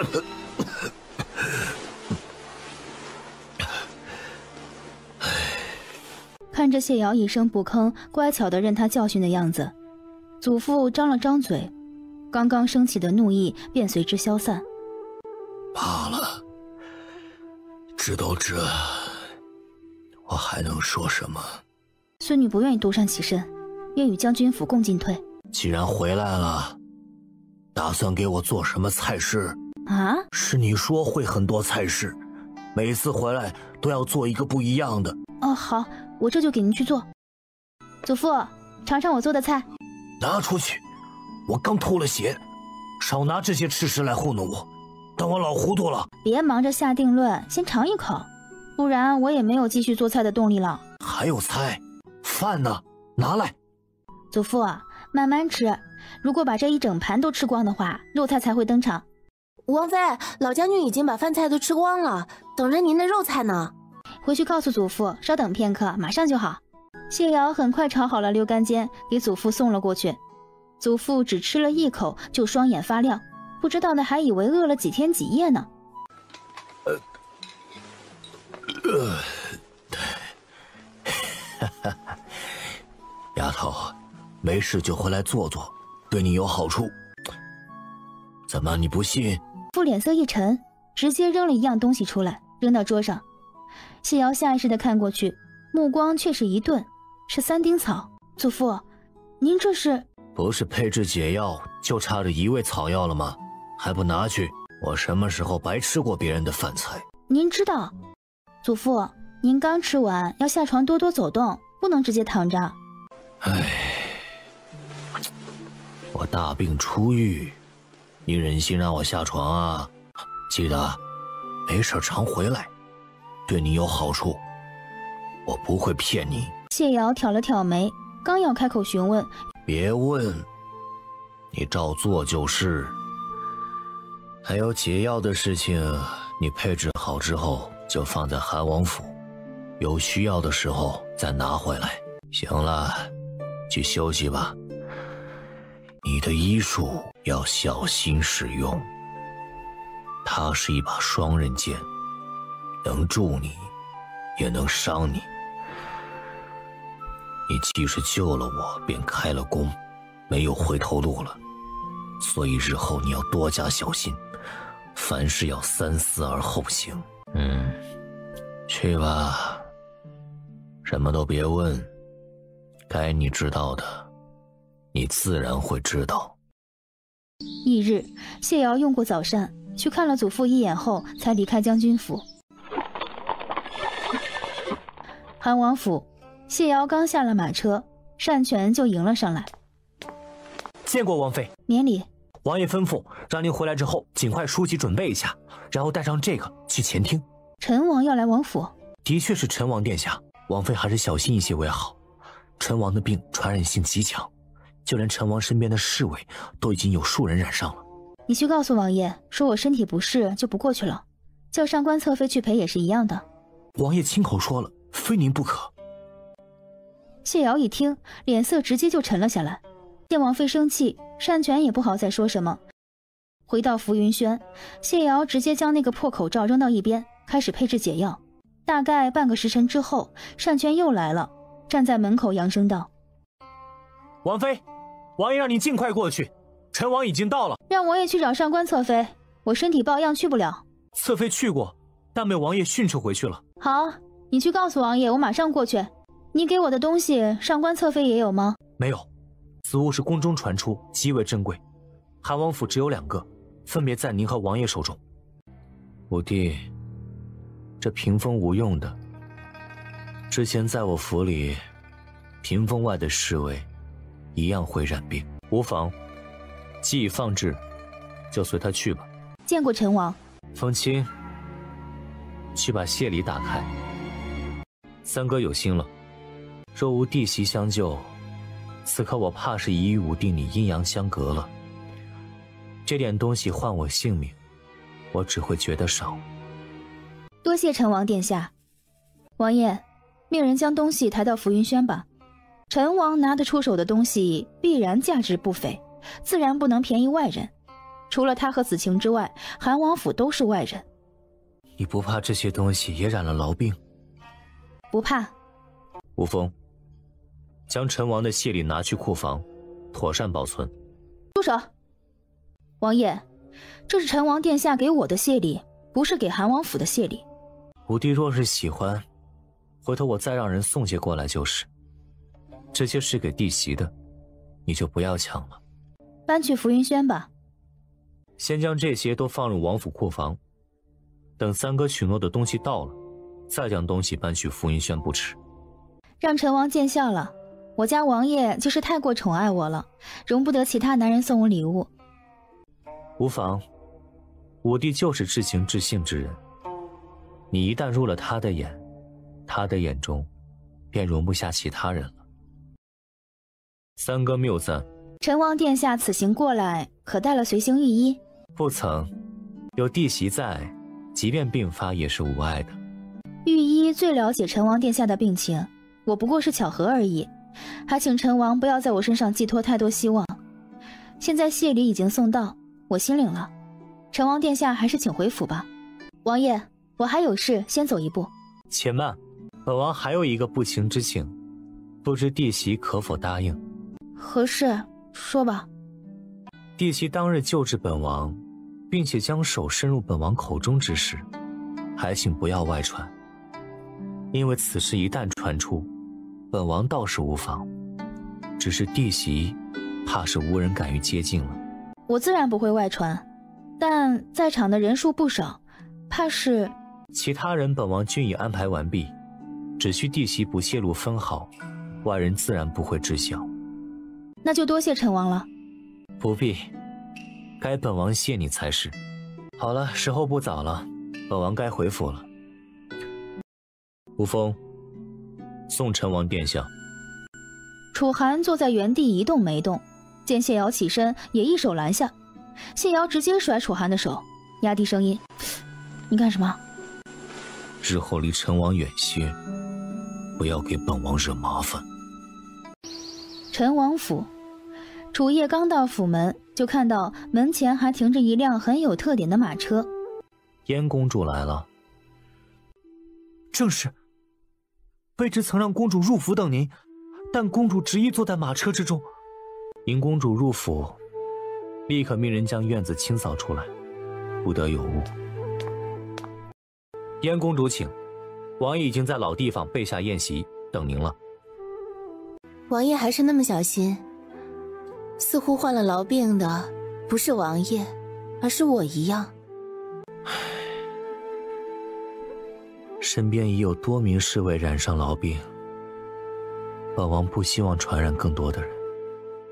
王爷自然是好心，可惜。我听闻王爷日前在醉仙楼晕倒，可有此事？燕公主的消息一如既往的灵通，确有此事。本王已命人封锁了消息，没想到还是被燕公主得知了。看样子，王爷是又一次从阎王手中逃了出来。是本王的运气好。是御医及时赶到。燕公主不必套本王的话，将本王救过来的，的确是韩王妃。本王也刚刚从韩王府回来。我无意试探，王爷不要见怪。我只是好奇，这与传言不符。任谁人也想不到，韩王妃竟然懂医，而且医术精湛。本王也没有想到。王爷近日病情如何？应该是本王大限将近了。此次被救过来，竟然会感觉比之前舒服了一些。舒服一些？王爷可否说的再详细一些？简单几句，楚夜将自己当时的感受全部说出。南宫燕听得十分认真，秀眉越皱越深。在给楚叶短暂的诊脉之后，他黑曜石般的眼眸中闪过一抹亮色。王爷并非回光返照，而是痨病的病情的确得到了抑制。本王的病情得到了抑制，王妃，这些东西都可以放心使用了，上面不会传染痨病。王爷命人用陈王带来的东西将这些东西都清理过了，又放在库房闲置了两日。王爷近日身体如何？王爷，王爷怎么了？本王很好，无需王妃挂念。楚寒忽然出现，俊逸的脸色冷冰冰的，有些泛白。谢瑶上下打量一眼，暗暗啧舌：楚寒真能忍呢。记好本王的话，离陈王远些。我不曾去管王爷，还请王爷也不要来管我，我们互不干扰，如何？放肆！王爷若是嫌毒发慢了，大可继续生气。不过，请你找上官月或者府中下人都可以，我还要休息。谢瑶，本王一日还未写休书，你就一日还是本王的王妃。王爷还请清醒点，我所要休书，并非意味着只有拿到休书，我才能脱离韩王府。楚寒面色一沉，黑眸中闪过一抹危险之色，起身上前。谢瑶反应也很快，直接后退，同时取下头顶簪子，紧握手中。你果然一直在防备着本王。陈王并非如你看到的那样简单，至少对你，或是对将军府，他绝非良人之选。楚寒，你怎么想那是你自己的事情，我管不了，也不想管。但是，请不要把你肮脏的想法强加于我的身上。你究竟是个什么样的人，恐怕没人比本王更清楚。当日若非你故意衣衫不整陷害本王。你会嫁给本王成为正妃，收起你的心思，不要让本王再发现你有故意勾引陈王的行为。陈王不是你能肖想的，你那样只会害了将军府，害了本王。除了陈王，是不是别人都认我肖想？不知羞耻！你是本王的王妃，不是待字闺中的将军府嫡女。这还不简单吗？你给我一纸休书。我自然还是待字闺中。王爷，滚出去！该死！王爷，侧妃亲自下厨，请您过去用膳。说是又学会了新的菜式，你该多跟月儿学学，如何讨本王欢心。见过王爷，王爷来的刚好，我刚将菜做好，马上就可以端上来了。王爷先进屋里等着吧。王爷，这道菜的名字叫做红烧肉，是我亲手做的。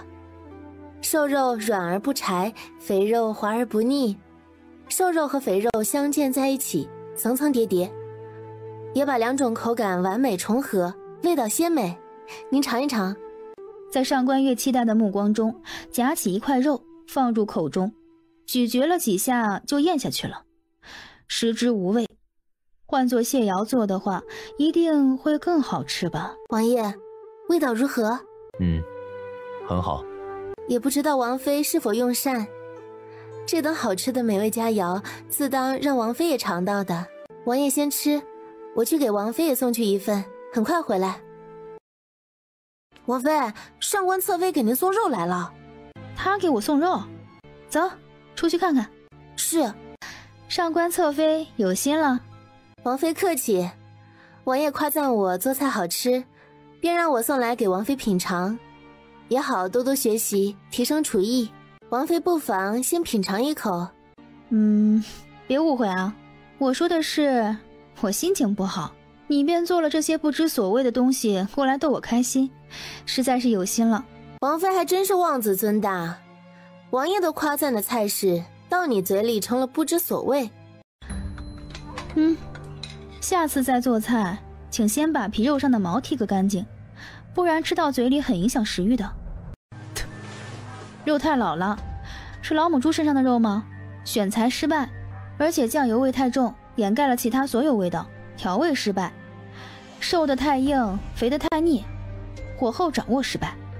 如此失败的一道菜，难得王爷还吃下去一口，你于心何忍啊？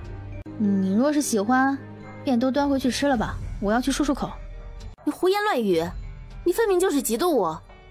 上官月皱眉，也夹了一小块，刚放进嘴里，就呸的一下吐出去了。他没想到紫烟阁的下人为了讨好他，会把难吃说成美味。在谢瑶这里丢脸是小，王爷可是亲口吃下了一大块。王爷，这菜……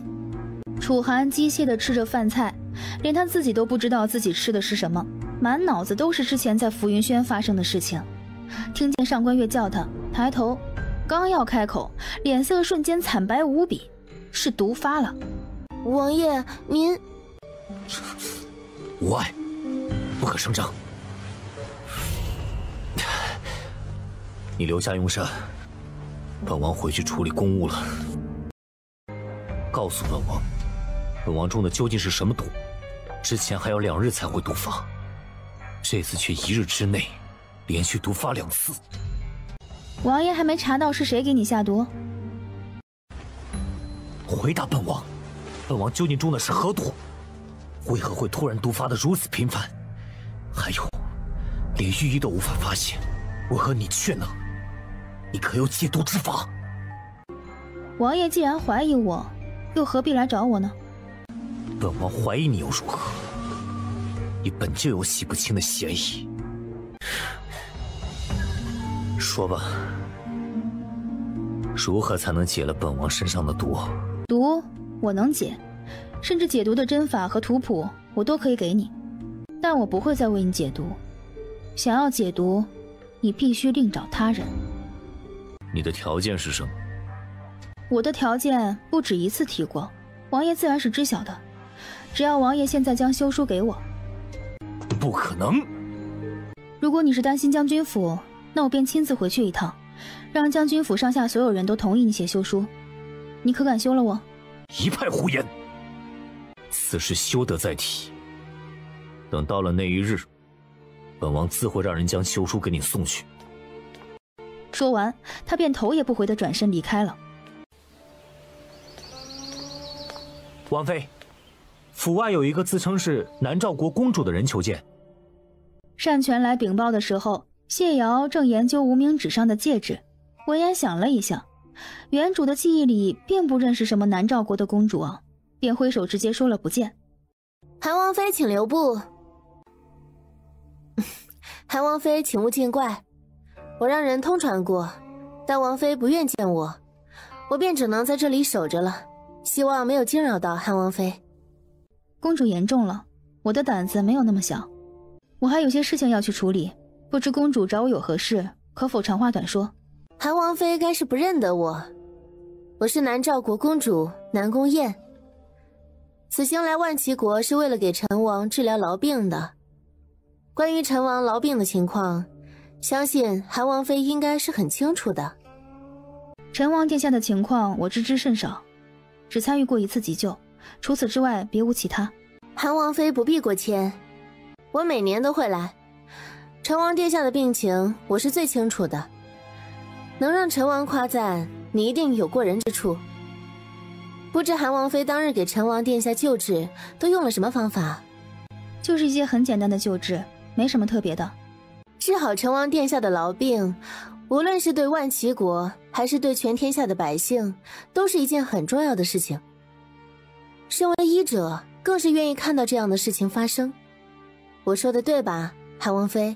南宫燕等了片刻，却仍不见谢瑶开口，有些失望道：“既然韩王妃不愿说，那我也不必勉强。巧合而已，是公主高看我了。若我不在时，成王殿下病发，还希望韩王妃可以秉持着医者仁心的态度出手救治。陈王是公主的病人，还是另有其他关系？陈王只是我的病人，没有你猜测的那种不堪的关系。无妨。”若公主无事，那我就先走了。韩王妃且慢，韩王妃医术精湛，经验丰富，不如我们找个地方坐下来，好好聊一聊医术，如何？怕是要让公主失望了。我此次出府是要有事去做，没时间陪公主，请公主见谅。无妨，等韩王妃何时有空，派人去陈王府找我就是。若有时间，定会登门拜访。一个时辰后。谢瑶回来了，王妃，谢将军又来了。我哥，谢将军好像受伤了。谢瑶当即眸色一沉，推开门就进了屋中。啊，妹妹回来的刚好，快来，哦，啊，帮我一把。不要乱动，先坐下。他立刻上前，几乎是命令的语气，直接掀开遮挡。映入眼帘的情况让他倒吸了一口凉气，大腿上的伤口处只有外面露着一截剑柄。箭头完全看不见了，里面究竟进去了多少，根本不得而知。这一箭射得极深。去床上躺着，我先将箭头取出来。唉，就坐着吧，躺着我下不了棋。躺下，不用担心，一会儿你不会感受到疼的。一听到不会感到疼痛，谢文武的心顿时松了，身体也跟着放松许多。谢瑶直接一针麻药下去，等麻药生效后，开始小心翼翼地处理伤口。并且时刻观察出血是否有加快的迹象，动脉大出血可不是闹着玩的。妹妹，你猜我这伤是怎么来的？还能怎么来的？难不成去马场射箭被人误伤的不成？不是，是被人刺杀时弄伤的。查到了吗？是谁？还没有，他们全都死了。全杀了？不，是自杀。是我低估了，他们每个人的牙中都藏着剧毒。最后一个人咬破毒药时，我的动作慢了一步。半个时辰后，谢瑶终于成功确定了箭头的位置，并且将周围完全清创。抬头看了一眼，谢文武不知何时已经熟睡了，那样子竟是睡得十分放心。看着取出的箭头，谢瑶浅笑了下，开始处理伤口和缝合。做完这一切之后。谢文武仍旧没有醒来的意思，甚至还有些轻微的打鼾。舍得醒了？这菜是我做的，你放心吃吧。同时注意到戒指忽然闪了一下，被食盒盖子挡住，只有他看见。他的哪个病人又有性命之忧了？需要急救？这里没人伺候你，自己吃吧。谢文武早就将碗拿起来了。谢瑶说话的时候，他已经第一口菜入口。含糊不清的说了句什么，然后就是一顿胡吃海塞，那叫一个风卷残云。哎，哈哈哈哈！我妹妹做的饭菜果然是色香味俱全呐，连御厨都只能望其项背，拍马不及。哈哈！你原本的伤还没好，现在又添新伤，就继续吃些清淡的吧。需要忌口的东西跟之前一样。哎，要是将军府的厨子。也有你的手艺就好了。哎，你何时学会了如此好的厨艺？我竟不知。你常年戍边，如何能知道京中的事情？当初为了讨韩王殿下欢心，我可是下了苦功夫的。谢文武也不追问，又要了几服伤口该换的药后，就离开了韩王府。王妃，王爷让你准备一下，马上跟王爷去趟陈王府。王爷还说，请您务必戴上口罩。知道了。我收拾一下就过去。此去陈王府，你的动作倒是很快。治病救人就是在跟阎王抢时间，赢了的人才能活下来。陈王的病，你打算如何救治？到了以后再说吧。如何救治还要看陈王殿下情况而定。陈王身边有御医，也有医术精湛的南宫燕在，你切勿逞能。如若楚夜有任何不测，你，甚至是将军府，都无力承担后果。谢瑶眸子闪烁了一下，点头嗯了一声，然后转过头，随意的看着马车外头。马车一路安静的抵达陈王府，尚未停稳，便有南宫燕的声音传来：“韩王，韩王妃，记住本王的话。三哥的病情有劳公主了。韩王言重了，医者仁心，换成一个普通百姓，我也一样会如此。南宫公主，陈王病情如何？”我带你们去看看吧，一看便知。有劳。可有医治之法？已经有了初步的办法，但只有五成的把握，所以请韩王妃前来商讨。我先看看陈王殿下的情况。简单的诊了下脉，他的眉头微微蹙了下，情况和他之前判断的差不多。楚夜发生过大咳血，但已经被暂时控制住了。诊脉完毕。他又取出听诊器，撩开陈王的衣服进行听诊，确定患处位置。你在干什么？不要动陈王！陈王殿下刚刚咳血严重，不可随意挪动。韩王妃只遇到过一次陈王病发，不熟悉情况便不要轻易动手。陈王的情况很危险，稍有不慎就会产生严重的后果，那不是你我能够承担得起的。每次陈王咳血，我都会让陈王平躺。然后再加以汤药调理，便能恢复。陈王的左肺损伤严重，需要左侧卧床的姿势以压迫患处，使呼吸受限，让出血的部位得以休息，减少咳血。陈王咳血的情况已经得到控制，无需再动。韩王妃既然清楚了陈王的情况，那便来看一看我的治疗之法吧。此次病发不同以往，若继续让陈王平躺下去，不需要多久，陈王便会再次咳血。韩王妃仔细参详一下，然后说一说意见。公主不要见怪，韩王妃不善医术，做出不符常理的事情也不足为奇。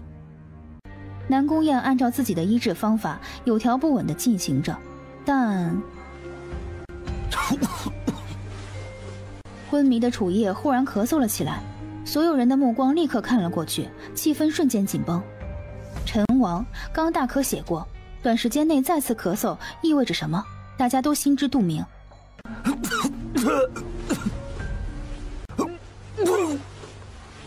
咳嗽声猛然中断，仿佛有什么也要跟着断掉一样。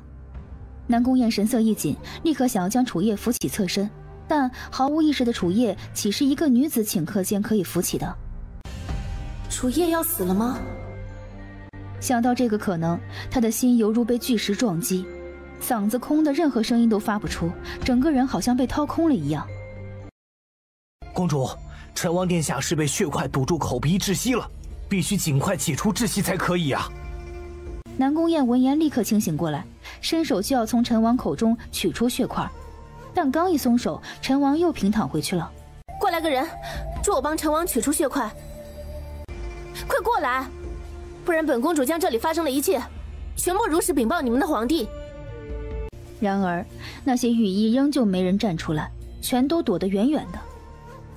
楚寒将这一幕看在眼里，黑眸幽深似渊，不见波澜。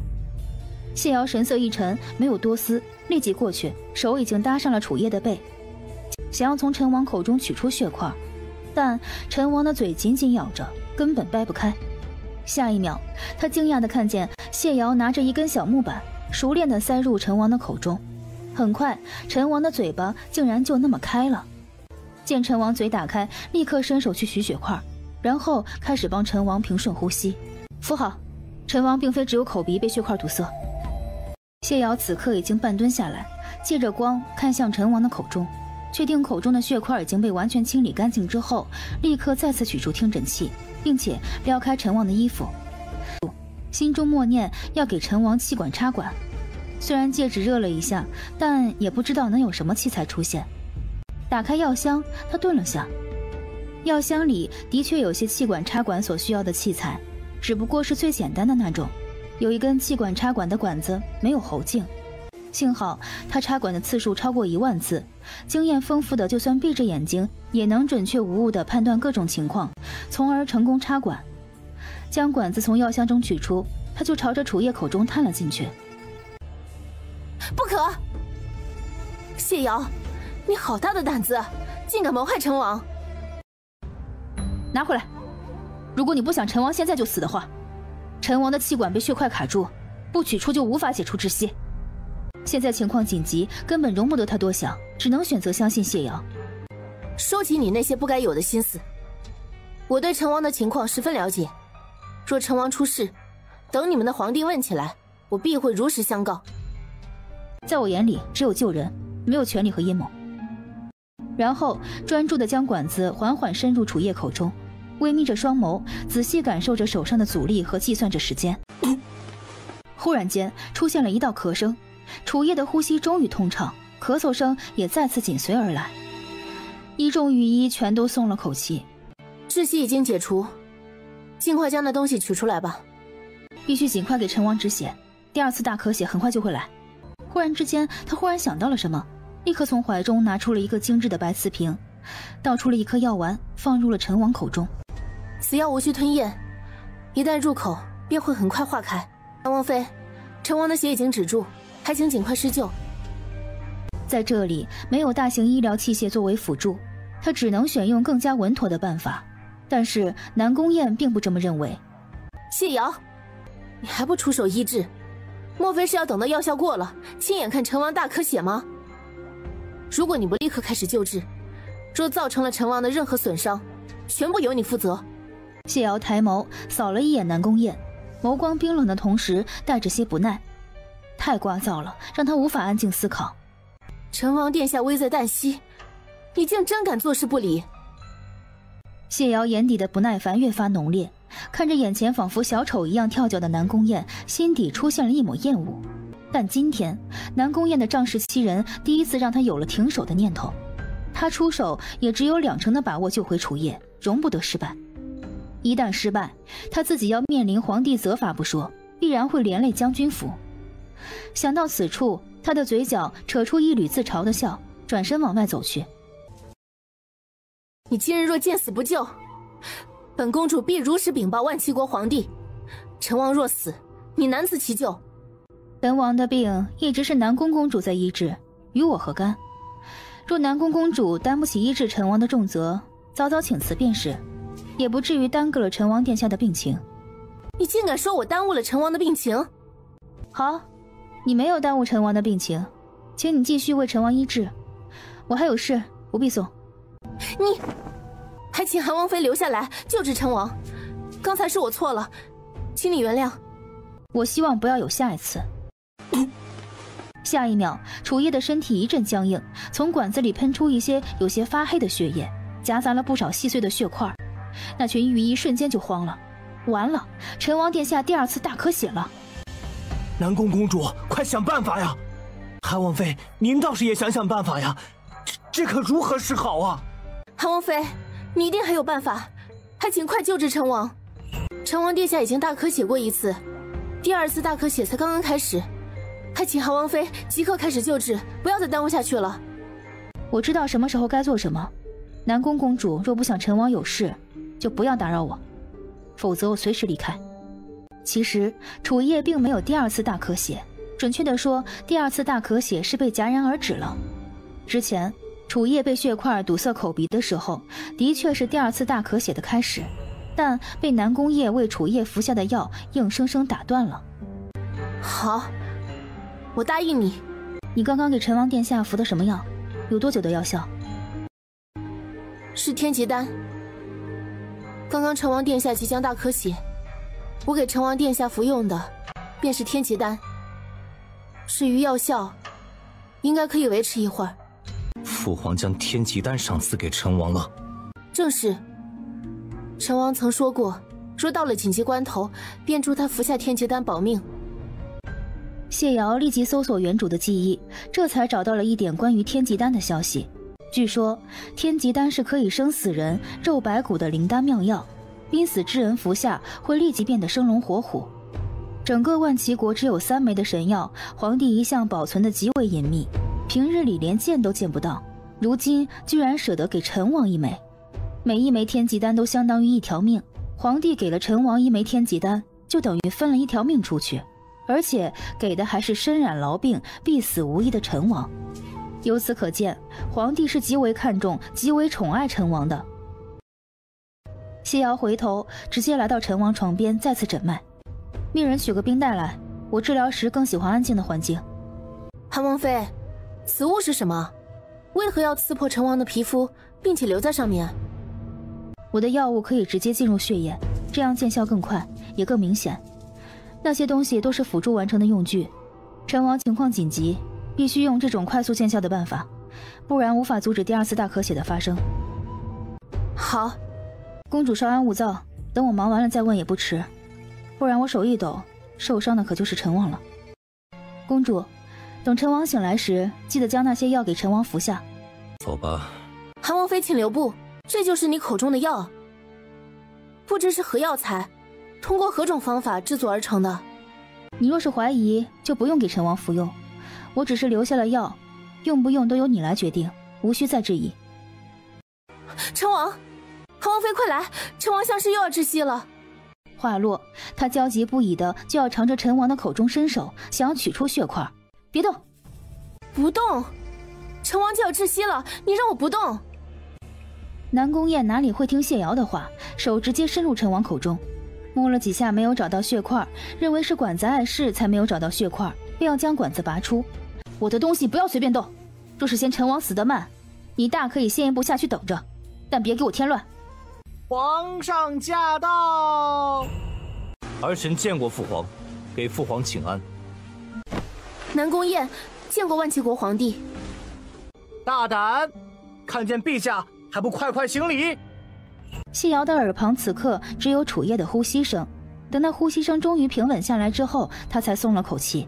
没想到楚夜的肺大炮影响力这么大，造成的气胸不过几秒就窒息了。若等他走后再出现气胸，怕是楚夜已经死了。儿媳见过父皇。来人，将韩王妃押下去，关入地牢。父皇，谢瑶他是在救。放肆！谢瑶面色如常的看了一眼侍卫，随后转向皇帝。大胆，还敢抬头！很快，谢瑶被侍卫扔到了陈王府的地牢。也许因为楚叶痨病缠身，无人愿意靠近楚叶的缘故，偌大的地牢当中空无一人，只有浓重的潮气。楚叶的接连发病，耗费了他极大的精力，刚好趁着现在休息一下。等有了精力，再好好想想接下来该怎么办。情况如何？陈王今日大咳血两次，窒息两次，目前情况已经稳定。天极丹可曾使用？已经用了，正是靠着天极丹，才帮成王止住了第二次大咳血，保住一命。老五，你跟朕出来一下。这几日，你过得很是糊涂。回父皇。儿臣不明白。嗯，你不明白？是，请父皇明示。刚刚，你可是要替谢瑶求情？正是。三哥的病情极其凶险，每一次都是谢瑶将三哥救回来的，并无过错。你的意思是朕错了？儿臣不敢，儿臣只是就事论事。哼。好一个就事论事！朕竟不知，你还是一个如此理智之人。朕听闻谢瑶大婚后，多次向你索要休书，你为何不给？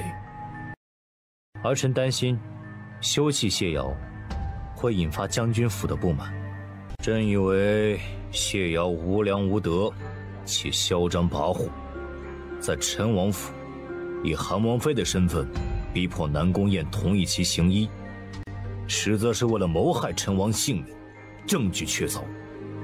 朕决定将谢瑶先行收押，待审问出幕后主使后，再行定罪。幕后主使，楚寒莫名心中一紧，父皇这是要给谢瑶安一个谋害皇子之罪，并且将矛头直指将军府。父皇明鉴，刚刚三哥病发之时，南宫公主曾经进行治疗多次，但全都没有任何效果。后来谢瑶出手，才将三哥救回来。全程南宫公主无任何参与，与儿臣一样，是在旁边看着的。南宫公主，陈王殿下伤势如何？时候不早了，皇上还有要事回去处理，不可在陈王府久留。陈王目前的情况比较稳定，但稳定就好。多谢南宫公主，起驾回宫。就在这时，忽然有一个人急急忙忙的跑到南宫燕身边，慌张喊道：“公主殿下，您快去看一看，陈陈王殿下好像又要病发了。”皇帝离开的脚步停顿，站在原地，回眸朝着屋子看了一眼，随后将身体也转了回来。皇上三思，您是龙体，一切都应小心行事。还是老奴替您进去。看一看陈王殿下的情况吧，也罢，以便替朕进去看看，自己也小心一些。这就是你说的病发？是，刚刚陈王殿下的确咳嗽了几声，而且很急促，所以我以为是病发了，还请公主恕罪。下去吧，再有类似的情况，还是要禀报我，但无需如此慌张。南宫公主，陈王殿下情况如何？啊，无碍，只是咳了几声。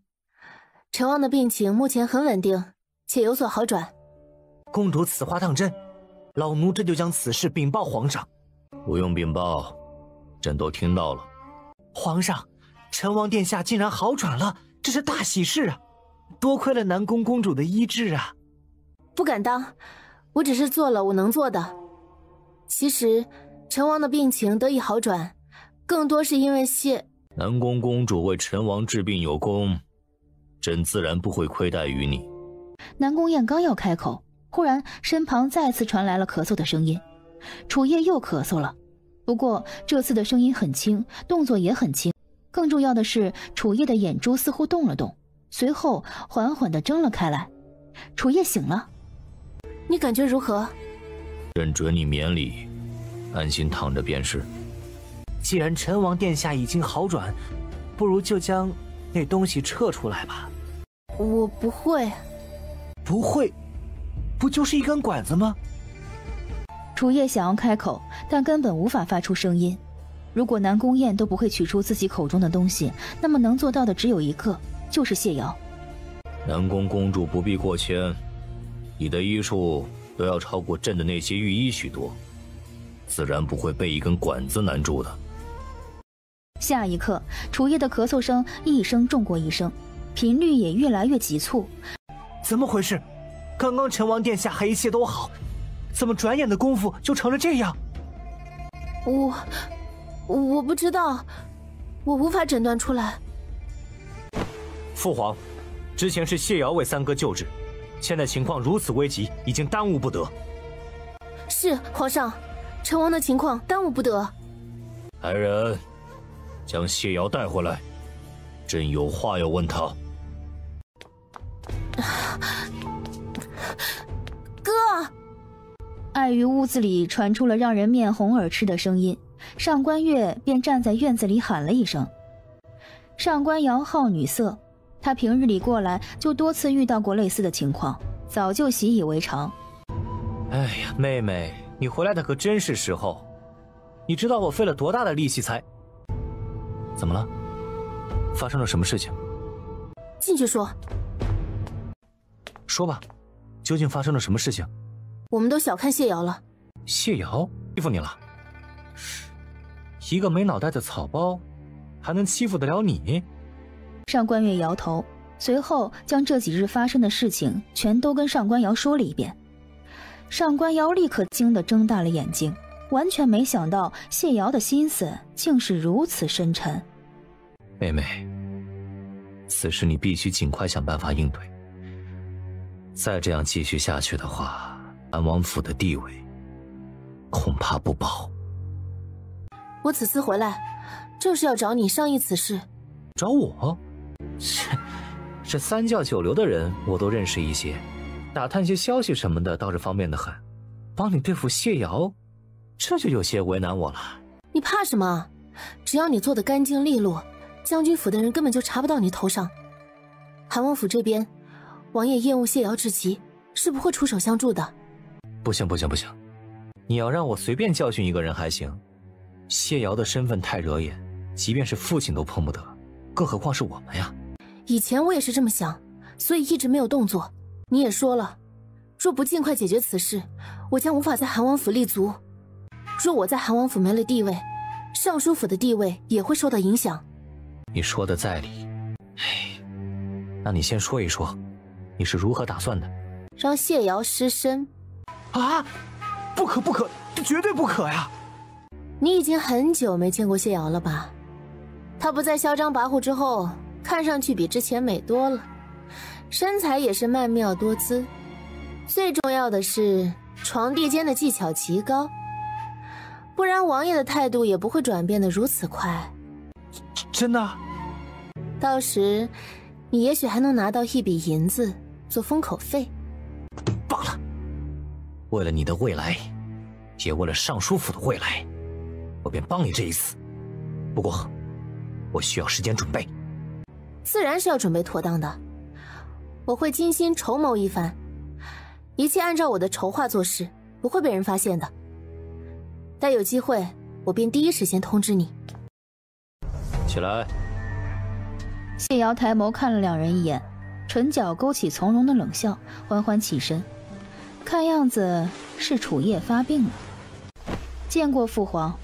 你若能将陈王救回来，便功过相抵。朕便恕你无罪。若救不回来，朕绝不轻饶。是。没时间多想，谢瑶立刻来到楚叶的病榻前，飞快地淡扫了南宫燕一眼，立刻着手检查楚叶的情况。还好之前的气胸并没有复发，算是楚叶的运气不错了。见谢瑶忙碌几下之后，忽然就不动了，刘公公特意隐忍了一下。见谢瑶仍旧一动不动，才开口问道：“韩王妃，你为何不继续救治陈王殿下？难不成想要抗旨不遵？能做的已经做了，剩下的就看陈王自己的了。治病若是要靠陈王殿下自己，还要你何用？速速给陈王殿下救治，不然……公公如此擅长医术，那请公公救治吧。你，公公若能治，便来。”若不能治，便将嘴闭上。我治病的时候需要安静。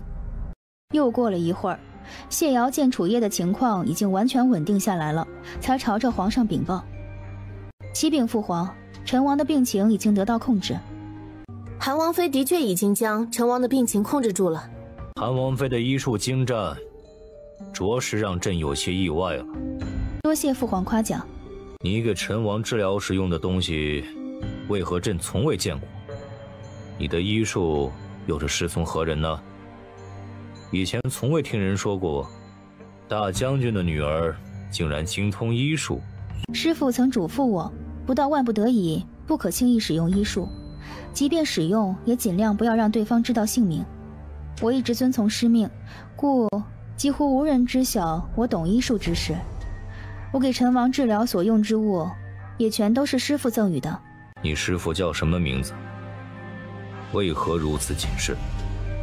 师傅没有告诉我真名，只说他外号赤脚，人称赤脚大夫。不过因为师傅行事谨慎，世间极少有人听过师傅的名字。你师傅人在何处啊？如此神医，朕要见一见。我也不知，师傅喜欢云游。我上次见到师傅已经是多年前的事了。韩王妃和南宫公主救治陈王有功。赏玉如意，谢万齐国皇帝赏赐，谢父皇赏赐。忽然，又一声咳嗽传来，陈王楚夜悠悠转醒了。多谢了，不必客气。儿臣让父皇担心了，好好养着，无需多礼。既然你无事，朕就回宫了。等你养好之后，再进宫向朕请安。谢父皇，百家回宫。走到门前时停了下来，回头目光幽暗的看向谢瑶，言语间极具震慑力。你现在是韩王妃，你的医术若是用到了不该用的地方，是什么样的后果？你可知晓？是，已知晓。救命之恩无以为报。日后，你若遇到困难，我定会竭尽所能。好，你好生休养。这上面是陈王恢复期需要注意的事情，以及服药的时间和剂量。吃药必须严格按照要求，按时间、按剂量服用，不可中断。三哥的病，你可有治愈的把握？没有。若你有治愈三哥的能力，你会那么做吗？不知道。谢瑶不知不觉的睡沉了。等醒来的时候，马车已经到了韩王府。楚寒不知何时已经下了马车，回到浮云轩，谢瑶吩咐了子晴，谁来也不见。他实在是困乏的要疯了，决定大睡特睡，先把失去的精力全都补回来再说。这一睡足足睡了三天三夜，除了吃饭如厕，其余时间一律在睡觉。他要下厨好好犒劳自己一番，于是让子晴准备些食材，今日中午亲自下厨。啊，奴婢见过王爷。平身。你去准备碗筷，菜快好了。在下厨，不便行礼。王爷公务繁忙，有事就直说吧。我在房中等你。解本王身上的毒，除了休书，你可还有其他条件？我没有别的条件，只有这一样。王爷若是能现在写下休书，我便立刻将解毒针灸的图谱和方法全都给你。如果本王没记错的话，当初是你主动用尽手段嫁入了韩王府。现在又再三索要休书，你到底是在玩什么把戏？谢瑶，不要跟本王玩弄心机。是我喜新厌旧，没嫁入韩王府的时候对你朝思暮想，现在嫁进来后也算是得到了你，反而没什么感觉了。不如你给我休书，我们各自走各自的路，互不相欠。你是在故意欲擒故纵的勾引本王？只要你愿意给我休书。除了给你解毒，你还可以提出要求，我尽量满足你。你生是汉王府的人，死是汉王府的鬼，休书就不要妄想了。忽然，他意识到了什么，心头一沉。他怎么会说出这样的话？莫非谢瑶的欲擒故纵之计已经起了作用？谢瑶，本王还是低看了你。不过你记住，你永远也得不到本王的心。这是抽什么风啊？情绪转变未免也太快了吧？什么时候说过要得到他的心了？我说要的是休书。该服药了，你不觉得苦吗？尚可。韩王妃给的药药效果然是极佳，不过几日的功夫，你的病情就有了明显的好转。可研究出此药的成分了？没有，难得有可以治愈痨病的灵药现世，我想把它研究明白，以便有更多的患有痨病的人可以得到解脱。南宫公主倒是比本王更加乐观，本王只是情况稍有好转，距离完全治愈还很远。你放心，只要有足够的药，并且定时定量的服用，治愈只是时间问题。日后不要去轻易打扰韩王妃了。若非万不得已，本王不希望韩王妃因为本王的病情出现在这里。韩王妃留下的药所剩无几，怕是撑不了几日。你不是正在研究吗？这几日怕是要辛苦公主尽快将内药的成分研究出来了。王妃，单权来了。知道了，让他在门口等我。单管家，王妃，是将军府来信了。王妃，你要去哪儿？奴婢跟着一起去，奴婢能保护王妃。不必，你留在这里。若王爷问起，便说我回将军府了。是。侧妃，王妃刚刚离开了浮云轩，身上还带着药箱，行色匆匆的样子。知道了。我要回一趟将军府。以后你要去哪儿，不必和本王说。京城街头，谢瑶坐在马车中，隐隐有些莫名的心神不宁。忽然，马车一个急停，让他险些甩了出去。紧接着，外面传来杂乱的脚步声，全都朝着马车方向而来。听声音，至少七八个人。你们是谁？这是韩王府的马车，你们敢？没有听到外面有人回应的声音，只有扑通一声，是人落地的声音。我是韩王妃，你们是何人？胆敢如此放肆！这时，从马车侧窗伸出一只手，一个手刀重重的砍在谢瑶的后脖梗处。谢瑶只觉得眼前一黑，就晕了过去。把他们两个都扔到咱们的马车里。九仙，你把这辆马车驾到城外，随便找个偏僻的地方扔了。秦郎，狗头军师，你们把那两个人捆结实了，堵上嘴巴。为首的一个人戴着红色面罩，声音有些紧张的颤抖。姚哥，咱们绑一个人就够了，那个车夫就随便找个地方扔了吧，反正也没看见咱们的脸。不，都带着。这件事越晚被发现，对咱们越有利。子晴，你怎么回来了？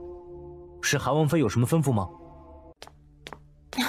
不是，我是来找王妃的。王妃何时来的将军府？我为何不知？今日是我值班，我并未见过王妃啊。明明是有人送信给王妃，然后王妃就说要回府一趟，怎么会没回来啊？你是一直守在这里，一步也没有离开？我晌午都是将吃食拿到门房吃的。一步都没有离开过呀！王妃当真没来，老爷可还在府中？大少爷呢？子晴，何事毛毛躁躁？你已经是我妹妹身边的大丫鬟，做事要稳重一些，不可慌慌张张。奴婢见过大少爷，大少爷可曾见到王妃？你惹了你的主子生气，所以他不要你了。王妃说她要来将军府，但刚刚守门人说王妃没来过，我找不到王妃了。说仔细些，将事情从头至尾完整的叙述一遍，不得有误。子晴连忙点头，丝毫不敢隐瞒，将事情的前前后后全说了一遍，十分仔细。这是多久的事情了？就是早上的事情，现在已经过去四五个时辰了。此事都何人知晓？奴婢急于过来找王妃，并非来得及告知任何人。你去涟水阁待着，哪儿也不要去，更不可将谢瑶的事情告知任何人。若有人问起，你就说我带谢瑶出府了。是。王爷，月儿已经做好了饭菜，快来尝一尝吧，一定会让你满意的。谢瑶能用美食吸引楚寒，他也一样可以。想到此刻的谢瑶，他嘴角的笑意就越发的浓郁了。月儿做饭，自然是好吃的。王爷先尝过再说。楚寒笑着一口吃下，咀嚼的时候目光看向外面，心头一动。天色已经不早了，似乎谢瑶还没回来。王爷，菜的味道如何？嗯，月儿做的饭菜越来越好吃了，已经可以比拟府中的厨子了。昏暗中，谢瑶忽然感觉头很疼，尤其是脖子后面的位置，想要抬手去揉一揉，却发现她根本动不了，她被人捆住了。美人儿，醒了。美人儿，你醒的正是时候。就算你不醒，我们也会强行把你叫醒的。青狼说的没错，这么美的人儿，若是一直昏睡着，就会少了许多乐趣了。老蝙蝠，你是不是傻？说话就说话，叫老子绰号干什么？你也叫了我的绰号，咱俩扯平。你们是什么人？为何要绑架我？嘿嘿嘿，我们当然是来帮你的呀。帮你冲上云霄，哈哈哈！正好他醒了，开始吧，不然夜长梦多。赶紧开始，我都快等不及了。秦郎，你跟几位兄弟分一分顺序，我就不客气了。嘿嘿，此事是你筹谋，你自然拔得头筹，我就不客气了，排在次位。你们，我排第三，我第四。本王妃是不是在哪见过你？上官瑶闻言，下意识的心中抖了一下。是啊，你在梦里见过我。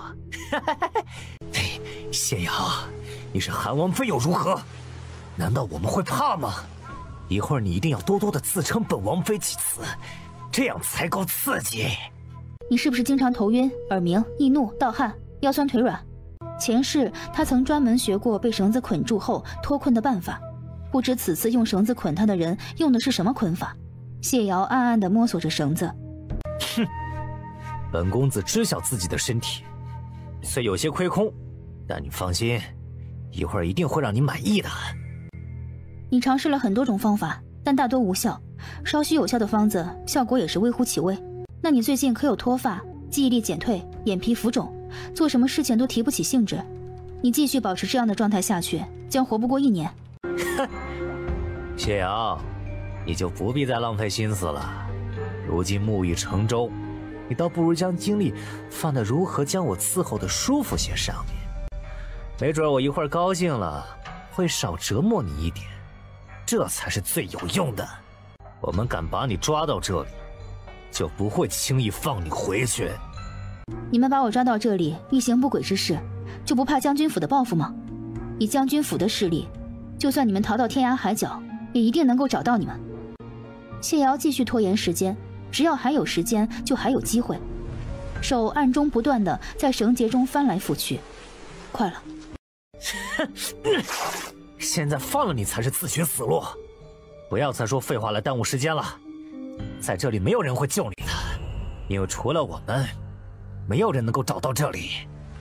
因为簪子丢失，他只能心中疯狂默念：麻醉针，麻醉针，一定要有麻醉针。他双手猛地挣开绳子，左手的麻醉针打在了上官瑶的嘴上，右手的麻醉针直接扎在上官瑶的肋骨处。上官瑶只觉得身上一疼。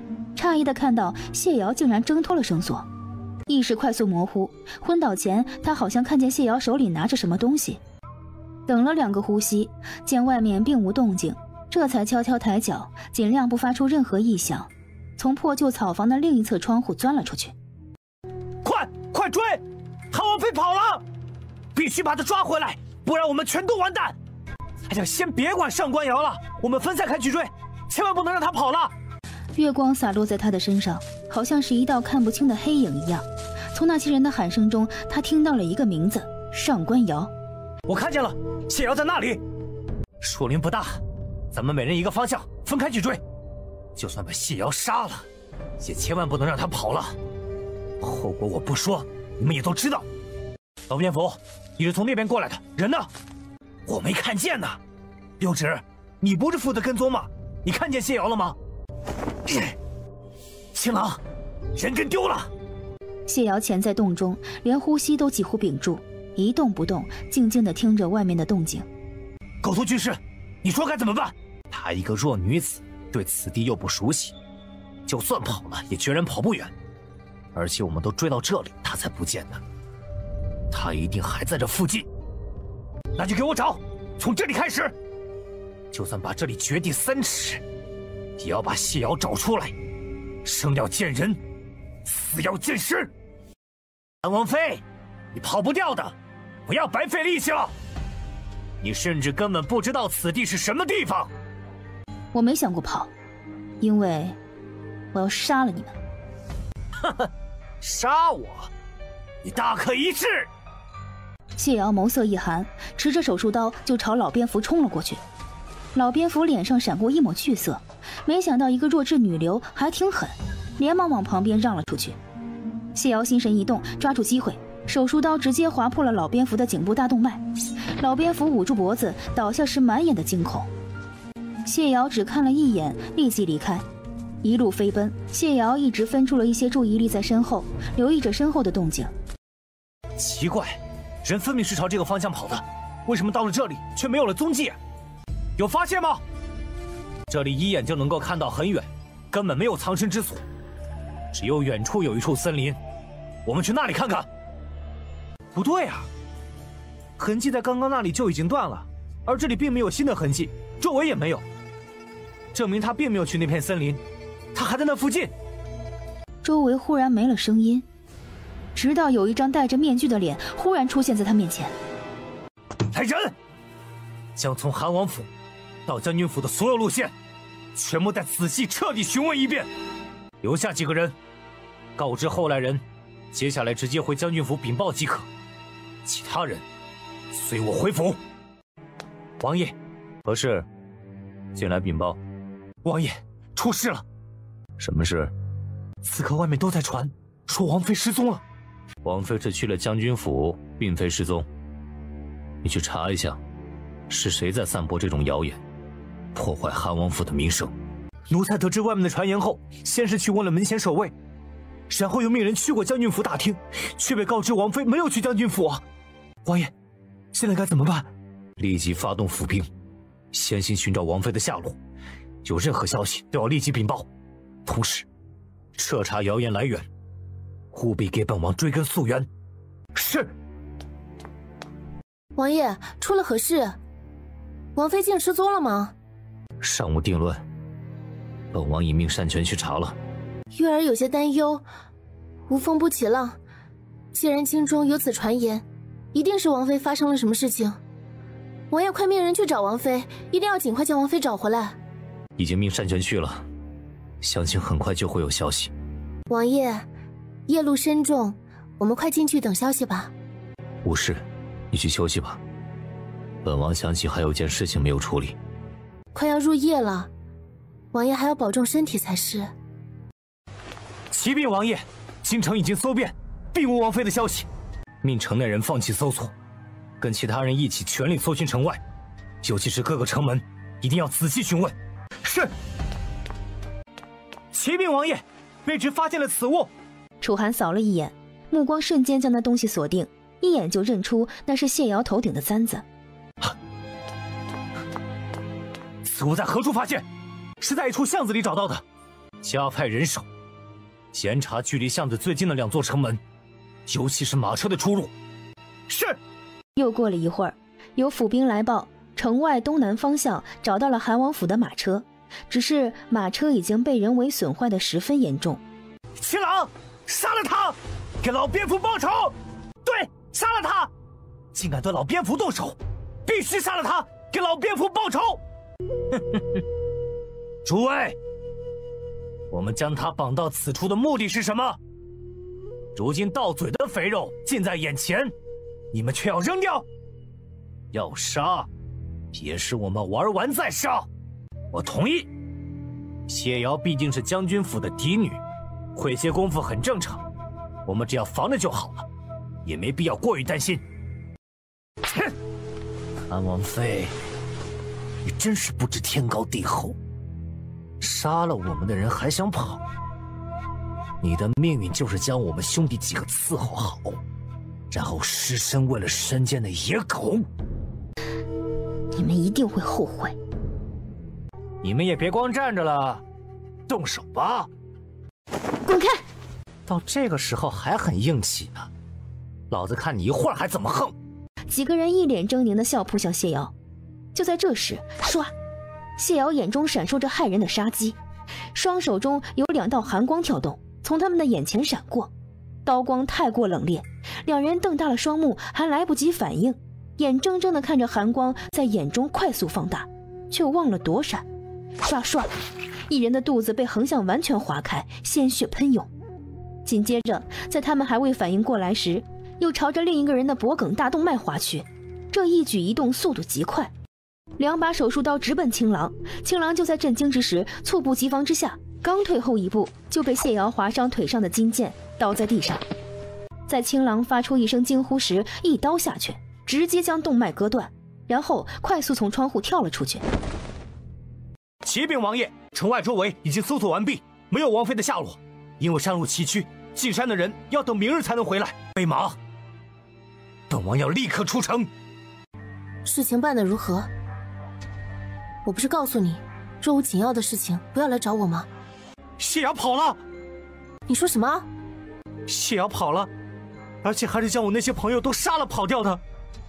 扑通，上官月一下坐在了椅子上，眼中也出现了惊慌。一群废物！那你们应该破坏了他的贞洁，一时疏忽之后才被他跑的吧？我我被谢瑶打昏了。不过看情况，谢谢瑶应该是没有被那个。没有，我我也没想到是这样。又立刻叫来紫菱，你找个丫鬟去福云轩看一下，看王妃是否回来了。若没回来，你再让人出府打探一下情况。妹妹，谢瑶也许迷路了，此刻还在山中，而且山中野兽众多，谢瑶不知道下山的路，被野兽吃掉也不是没有这个可能啊。你们有没有暴露身份？他们不小心说了他们的名字，但我一直很小心。谢瑶不知道我。这会不会有问题啊？什么？你找的都是什么人？做这种事情还能暴露身份？我我之前也跟你说了，我认识的都是一些三教九流的人，他们也是不小心吗？人都死光了，而且谢瑶还失踪了这么久，这么久的时间其实也够了。外面谣言纷飞，就算是谢瑶没有被毁了贞洁，也相当于被毁了贞洁。眸光一动，想到了一个应对之策。你知道吗？昨天失踪那个韩王妃，其实是被土匪绑了，回去做压寨夫人去了。那土匪胆子也够大的了，敢绑架韩王妃，就不怕韩王盛怒之下让人灭了土匪的老窝？那群土匪做事十分周密啊，现在还没有人知晓究竟是何方土匪。不过已经过去一整日了，那个韩王妃怕是已经被土匪那个了。韩王当初也是被迫迎娶，这下也有名正言顺的理由将他给休了。陈王府，楚夜得到下人关于谢瑶的禀报后，黑眸瞬间深沉了许多。命人暗中寻找韩王妃的下落，有消息立即禀报。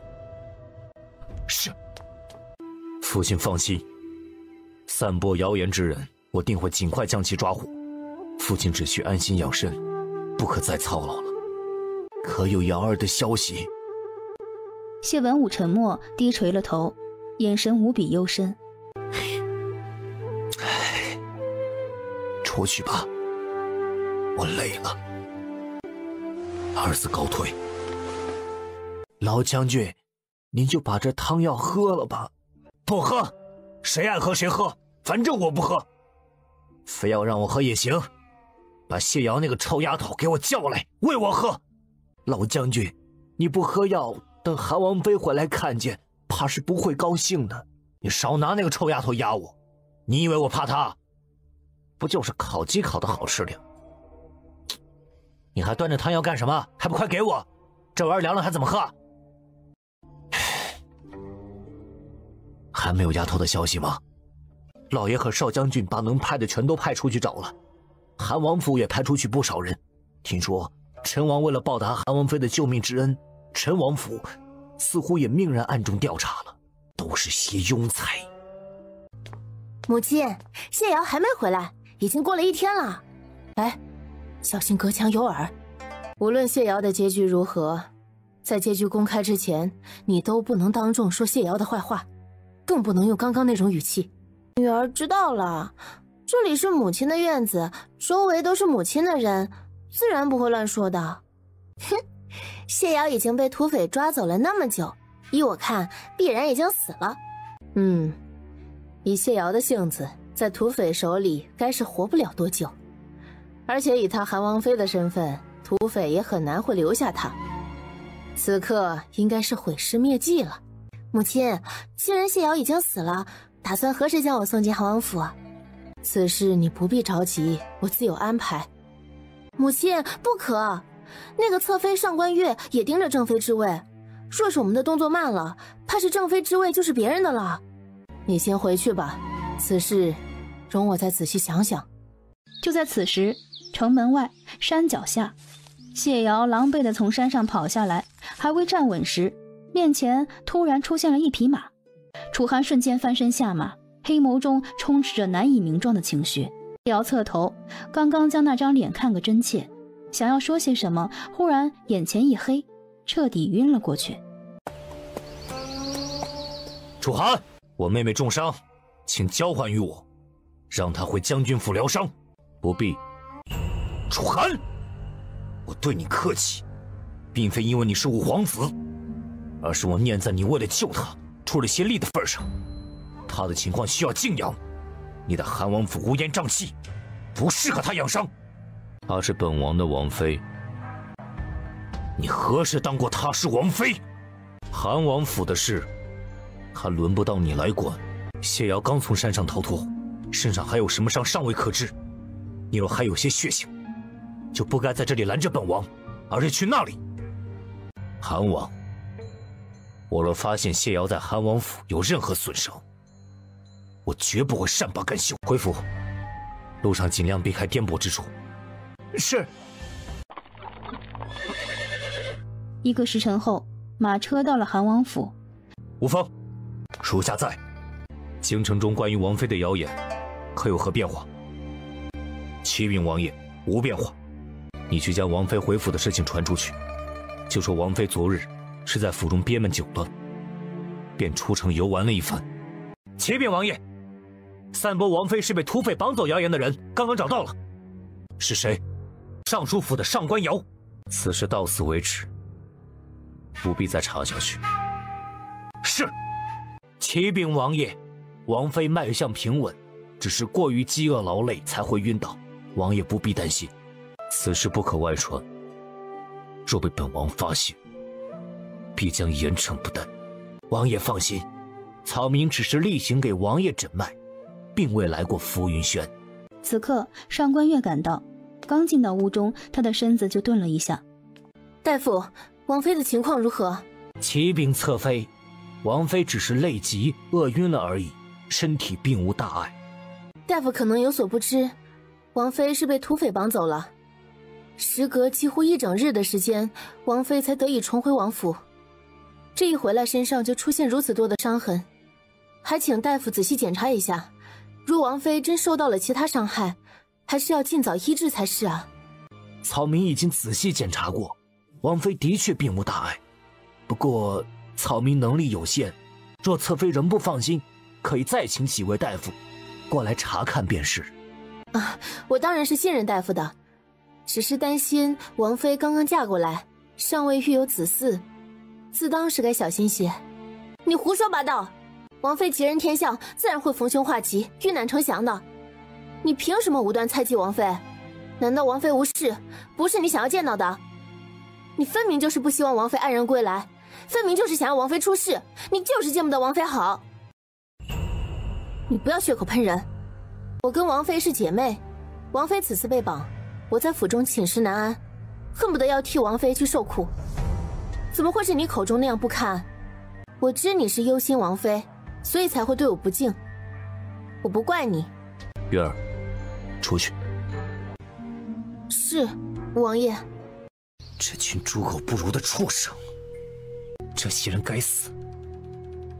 竟然敢对少将军最在意的妹妹下手，纯属找死！启禀少将军，京城中关于韩王妃的谣言已经越传越广，甚至还出现了各种各样不堪入耳的说法。韩王那边已经传令下去，应该用不了多久就会压制住这些传言的。可查到究竟是何人散播的谣言？是，是尚书府的上官瑶，是上官瑶，上官玉。又是几个恶毒的妇人，盯住上官瑶，若丢了他的踪迹，我拿你们试问。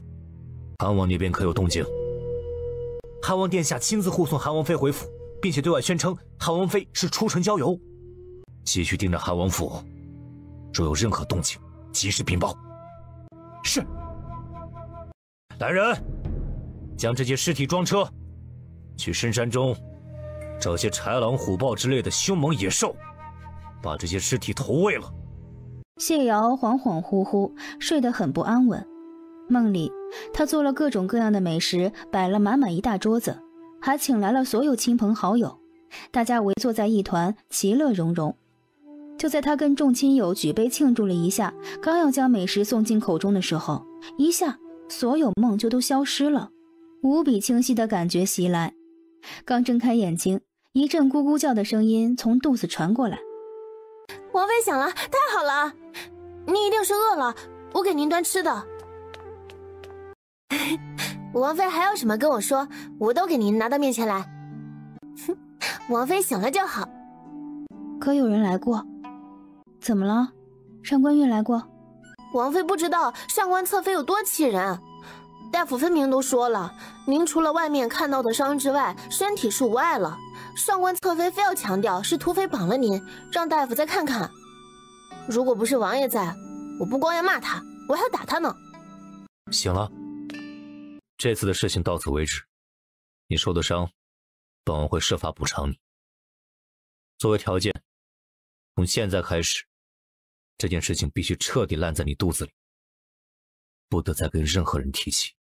王爷说的未免太轻松了些，即便你护着上官月。也不必这么招摇，这么明目张胆吧。若将我换成上官月，被那些土匪逼迫，你会怎么做？会不会恨不得将我碎尸万段？最好将我扔给那几个三教九流的折磨？王爷是不是太欺负人了？现在躺在床上的是上官月，你是不是会将我立即捉拿，然后关入大狱，交由宗人府审问？楚寒，这件事儿，我绝不会善罢甘休。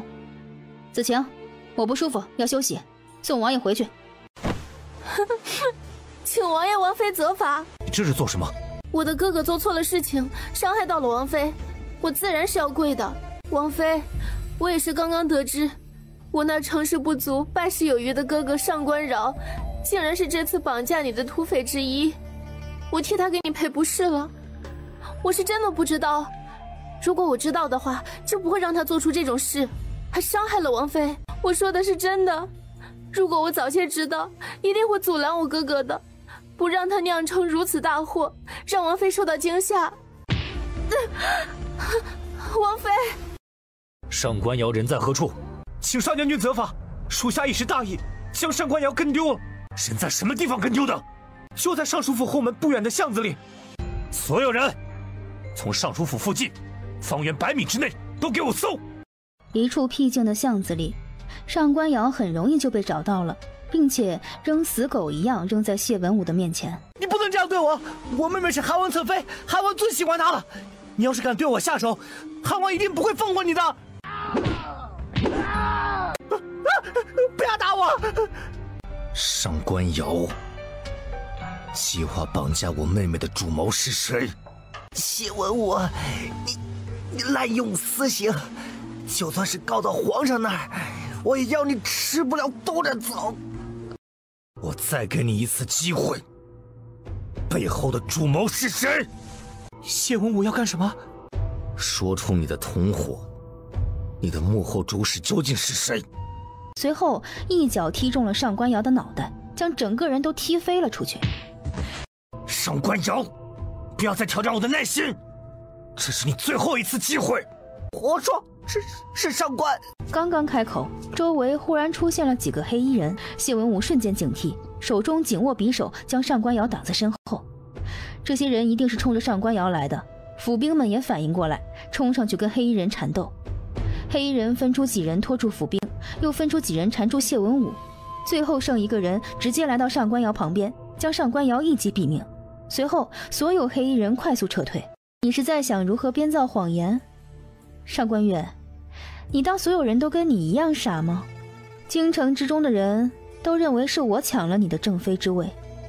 如今你哥哥上官瑶绑架了我，意图不轨，你说你不知情，会有人信吗？上官月，你应该庆幸我是活着回来的，要不然，现在你已经死了。王妃真的误会我了。如果我知道我那个愚蠢的哥哥要绑架你，就一定会拦着你不让你出府一步的，怎么会害你呢？就连这个消息，我也是刚刚才知情，这才急忙跑了过来。骗谁呢？你若不想害我，会知道用我父亲笔记的信件骗我出府，会让人刚好埋伏在我去将军府的路上。上官月，我说过，我不屑对你用计，若针对你，直接将你打杀就是了。谢瑶，此事到此为止。走吧。臣妾见过皇上，给皇上请安。应身，赐座。谢皇上。你来找朕，可是有事？回皇上的话，臣妾听闻京城中出现了一些关于韩王妃的传言，心中忧虑，便来找皇上商议一下。是何传言？静妃便将自己听来的都说了一遍。谢瑶是否失了贞洁已经不重要了，重要的是她的名声已经毁了。一个名声败坏的人是不可以继续留在韩王府的，那样只会坏了韩王府的名声，坏了韩王的名声。你是何意？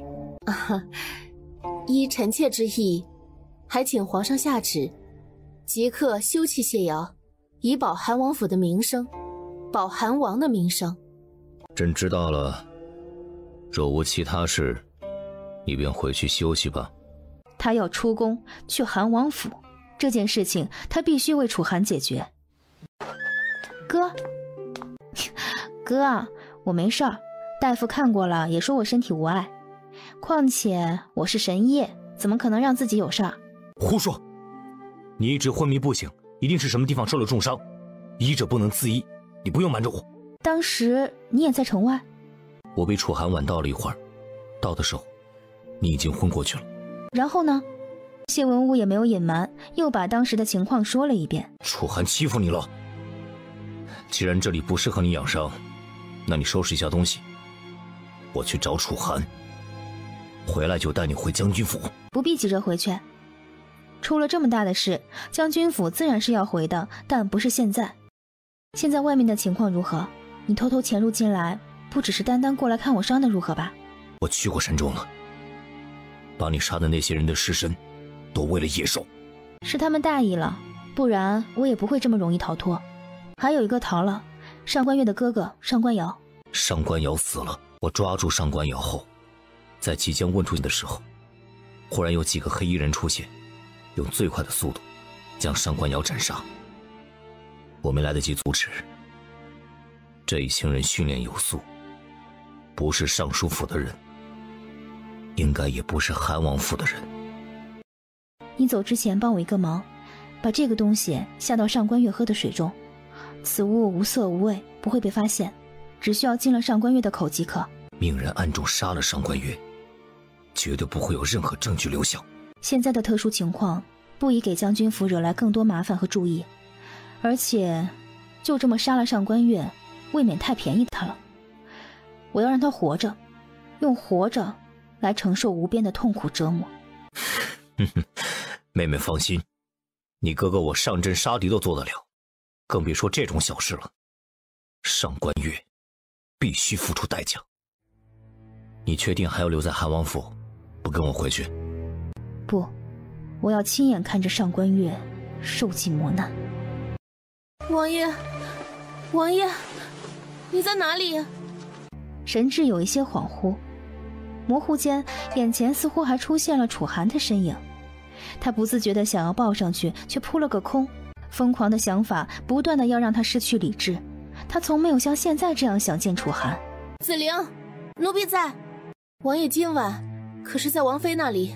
没有，王爷今晚哪儿都没去，好像是在书房处理公务。此刻应该回了朝阳殿了。好，准备去朝阳殿。侧妃深夜前来，可是有事找王爷？自然是有事。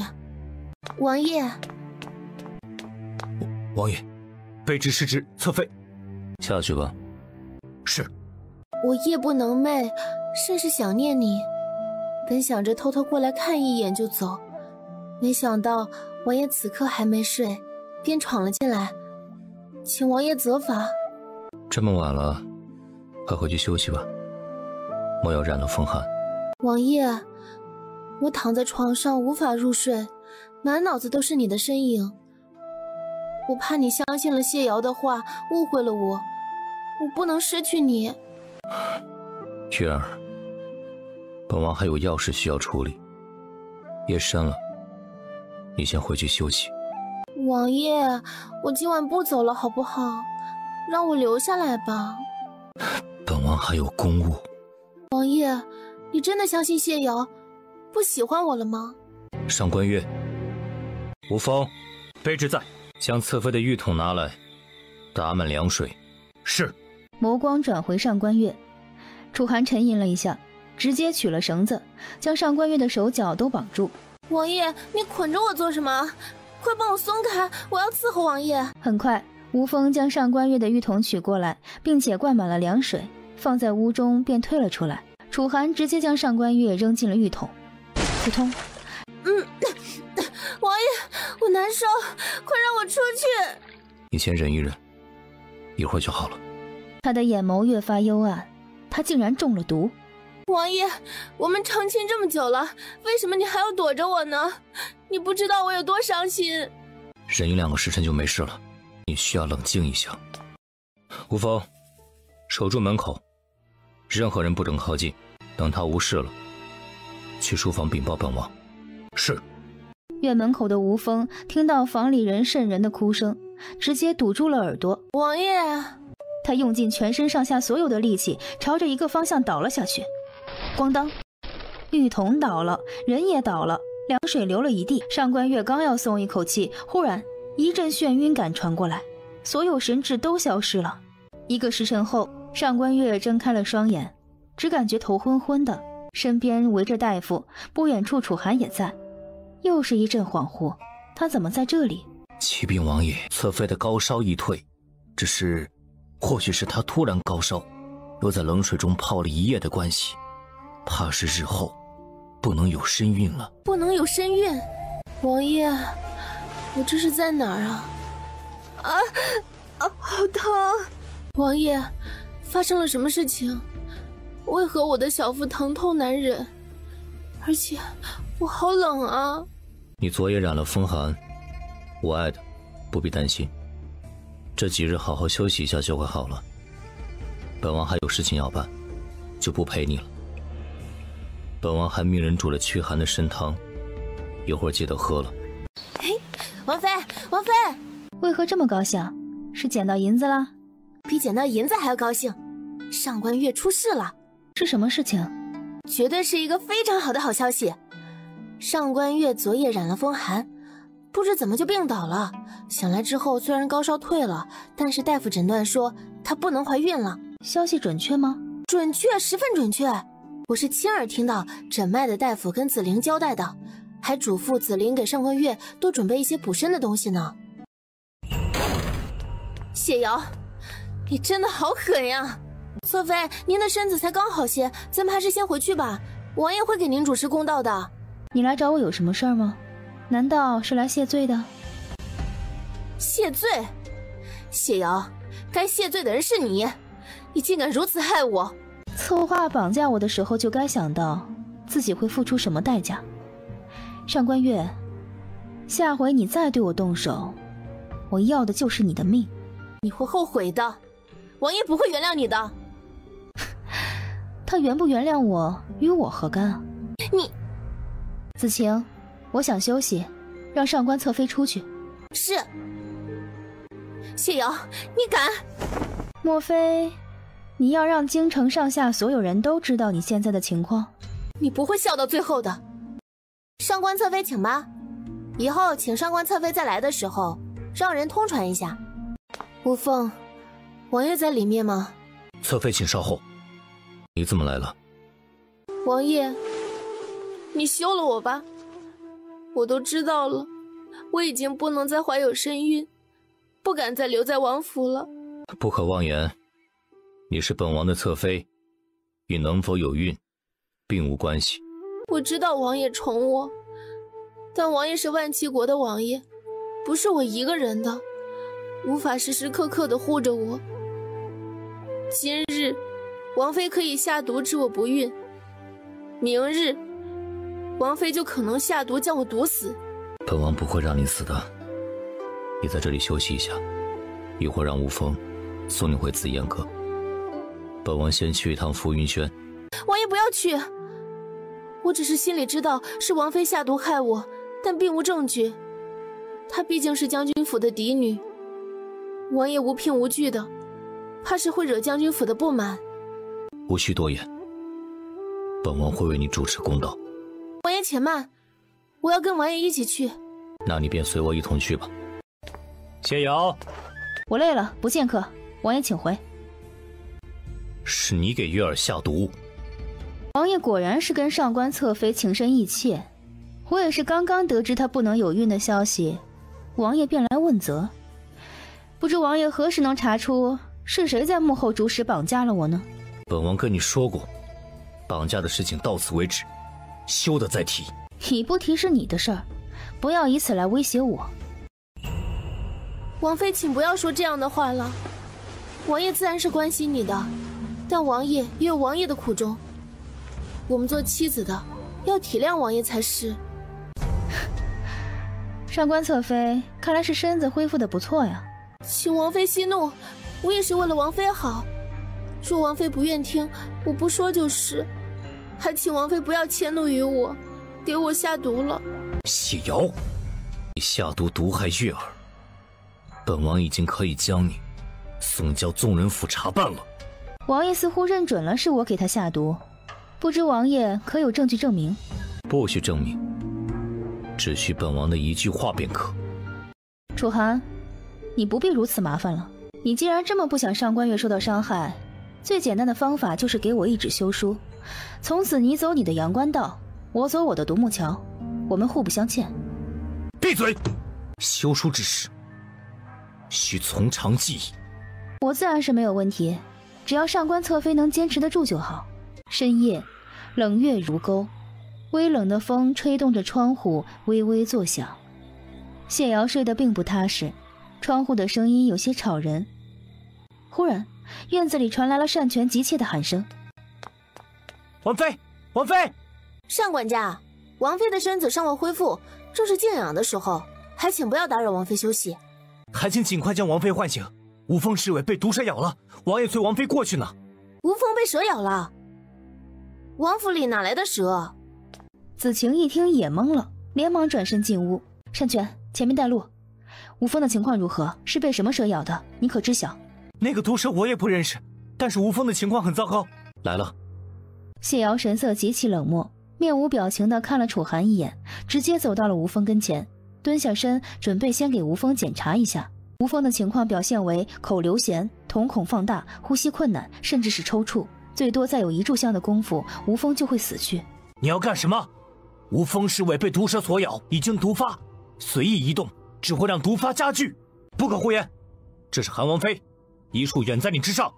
是被什么毒蛇所咬？蛇的尸体呢？毒蛇并非京城附近所有，无人熟悉毒蛇的毒性，你可有救治的把握？王妃，请看。就是这条蛇咬了吴峰，我要先试着救一救。这是银环蛇，毒性极强，且毒发时间很短。吴峰被咬多久了？我需要安静，只留一个知情人即可，其他人都出去。你们都出去，本王留下。吴峰被咬到现在，大概有半个多时辰了。谢瑶探头看去，眼睛一亮，是银环蛇血清。他早就默念多遍，一直没有，为何会突然出现了？没时间多想，既然有了血清，谢瑶就第一时间给吴峰注射了进去。又做了些常规急救，就没再动作，密切观察吴峰的情况变化。吴峰有了足够的氧气供给，渐渐的身体也在恢复。他何时能醒？快了，吴峰，你家王爷遇刺了。吴峰的身体机能逐渐恢复，但刚刚是陷入了昏迷的状态，想要清醒，自然是需要一点刺激。保护王爷，本王无碍，不必担心。免礼，先坐下休息。蛇毒可否已经彻底解了？单全。扶吴峰回去休息，本王不想再看到府中有事发生。记住，此事到此为止。若毒蛇在紫烟阁出现，休怪本王无情。你怀疑是我命人放的毒蛇？无需怀疑，这种蛇从未在京城附近出现过，连大夫都不知名字。你未免太高看你自己了。我若要你性命，有千百种方法能让你不知不觉的死去，没必要用毒蛇如此麻烦。话落，他头也不回的走了出去。哎呀，王妃，王妃，快醒醒！静妃娘娘来了王府，此刻王爷和上官月都过去陪着，已经派人过来催您了。母妃，儿媳不孝，这两年怕是不能为王爷开枝散叶了。无妨，你也不必过于担忧。也许是那个大夫诊断错了，宫中有众多灵药，到时本宫让人多送来一些，调理一段时间。定能让你的身体恢复，真的吗？那儿媳先谢过母妃了。见过王妃，给母妃请安。见过王爷。你为何向上官月下毒？我没下毒。大胆！本宫还能冤枉你不成？母妃，事已至此，就不要再追究了。我和王妃情同姐妹，她应该只是一时的糊涂而已，不是真的要伤害我。一时糊涂？唉，你就是太善良了。你是我的儿子，你的家事就是本宫的家事，此事本宫便做主了。谢瑶无才无德，狭隘善妒，又被土匪迫害，贞洁不保在先，又毒害妾室，致上官月伤了身体在后。自此刻起，谢瑶不再是王府正妃，逐出韩王府，从此与韩王府再无瓜葛。哼，谢瑶，这就是你的报应。母妃，谢瑶并未被土匪绑架，只是出城游玩未归。此事，儿臣已经查清，外面的谣言很快就会散去。就算是谣言，也已经传遍了整个京城，连皇宫里都已知晓。事已至此，事情的真与假已经没有区别。谢瑶即便是没有失了贞洁，也不能继续留在王府里了。母妃，请借一步说话。好，谢瑶，本宫念在你也是刚刚嫁入府中，生性未稳，暂且将你这一次的事情记下。此刻起，你需谨言慎行。若再惹出麻烦，本宫定要将你逐出府去。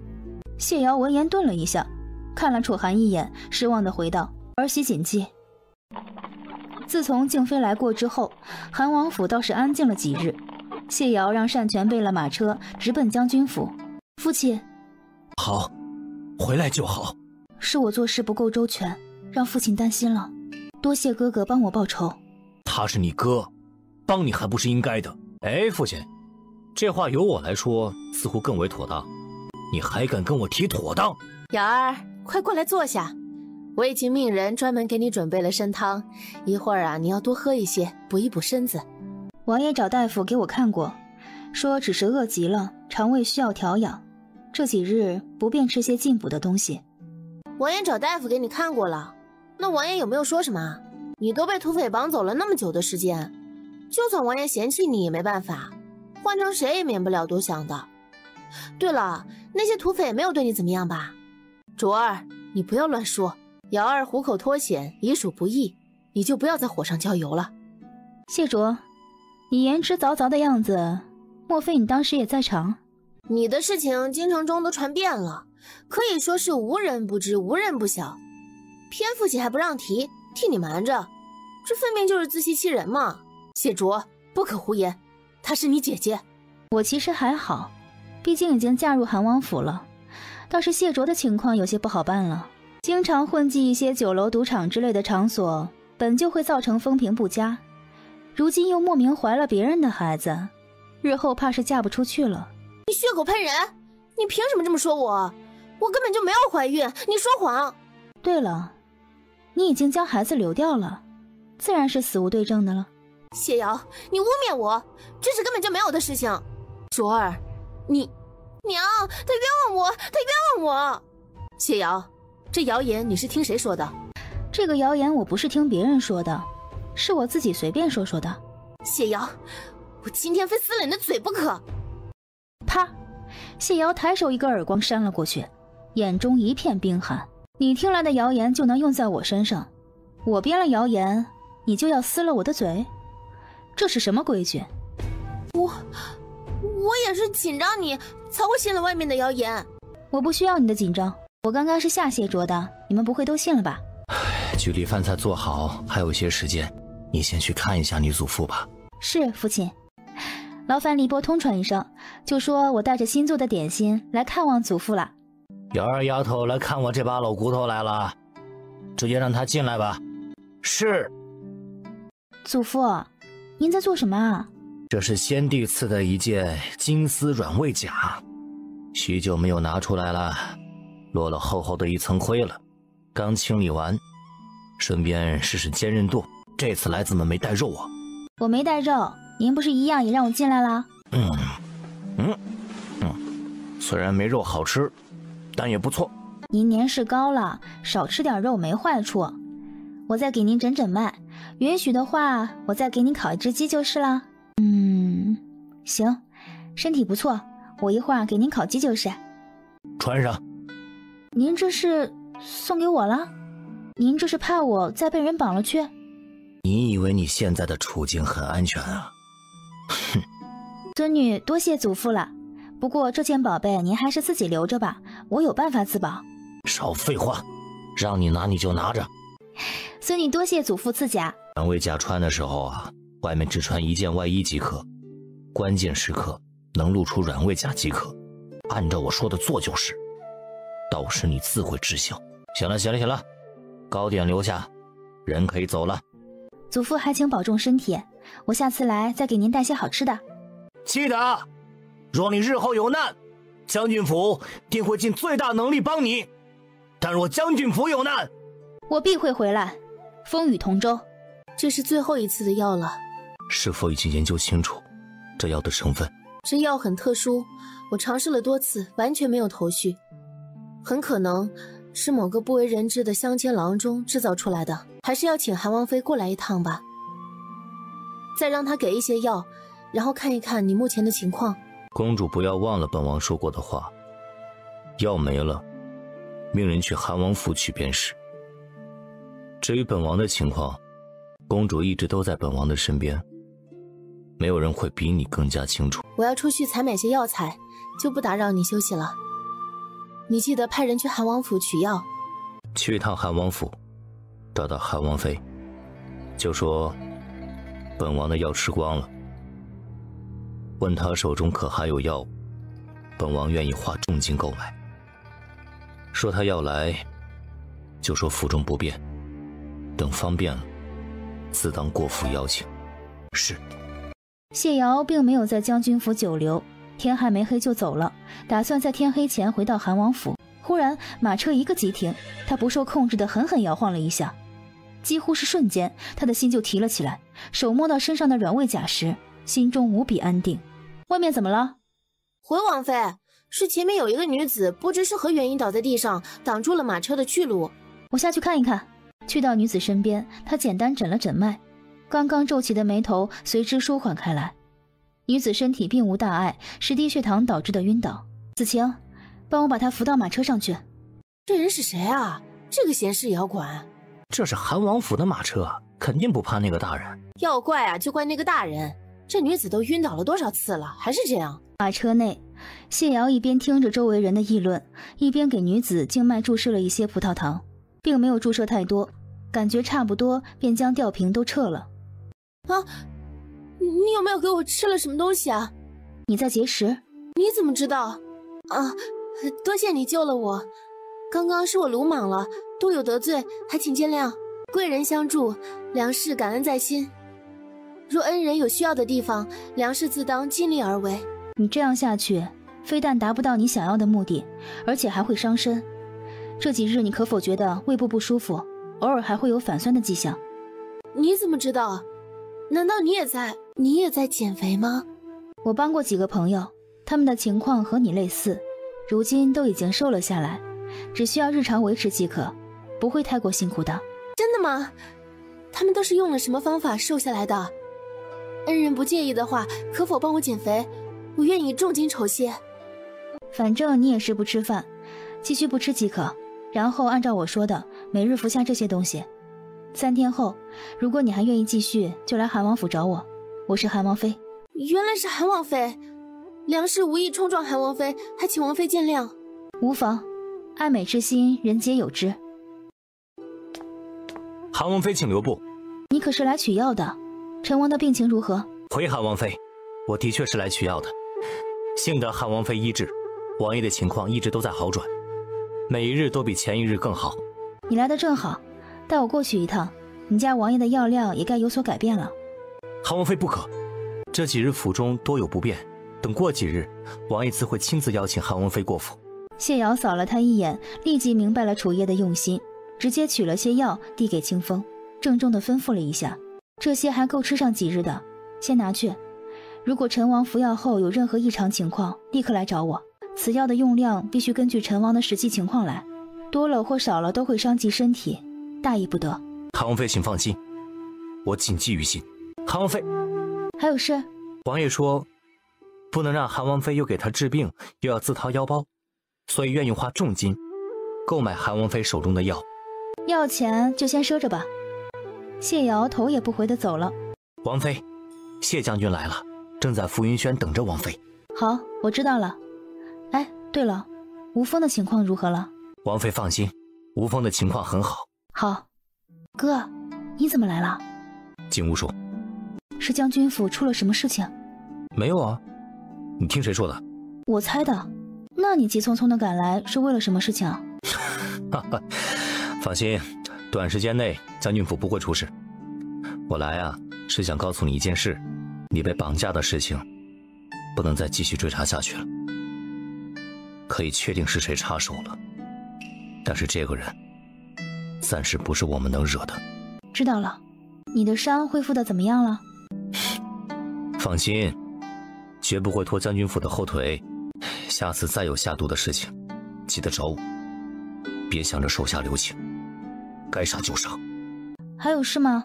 没有事就回去吧。哎呀，我下次来，记得做一顿饭招待我。知道了。见过王妃。免礼。感觉身体如何？可有不适的情况？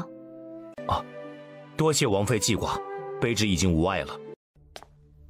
何事要找本王？启禀王爷，王妃已经给卑职查看过了，卑职的伤势已无碍，可以继续为您鞍前马后。不必急于回来，本王让你养伤，你就安心养着。何时彻底痊愈了，何时再回来不迟。吴峰的伤势的确已经没有大碍，适当的活动会加速他的痊愈。吴峰，那你准备一下，明日起继续跟在本王身边。多谢王爷，多谢王妃。你的毒发间隔，吴峰，快出来！他立刻喊了一声，同时蹲下给楚寒诊脉。这一诊脉，他的神色一变，变得更深更沉。楚寒情况不妙。王妃，王爷怎么了？不必多问，把他扶进屋里，切记此事不可张扬。你去外面守着，有事我再叫你。是。他便直接给楚寒抽了血，进行化验，并且加了急。令楚寒中毒的东西，他不光没见过，连在他穿越前都没有听说过的，是一个叫做忘忧液的东西。忘忧液是这里独有的。沉吟了一下，他眸光一闪，大胆的决定先给楚寒洗胃加灌肠。屋中，谢瑶做完这一切之后，直接将所有的气味和污秽物无视掉，做出了一个更加大胆的决定。透析，他不光要将楚寒胃中的毒素排出，更要将楚寒血液中的毒素排出。楚寒忽然闷哼一声，紧紧皱眉。等透析完成，谢瑶看着那两根管子快速缩短，最后在戒指处消失不见。你的手上何时有了戒指？很早便有了。本王还能撑多久？毒素暂时被压制住了，随时可能爆发。你最好在爆发之前找到下毒之人，找到解药。若再爆发，我也没有把握可以继续压制。你知道忘忧叶吗？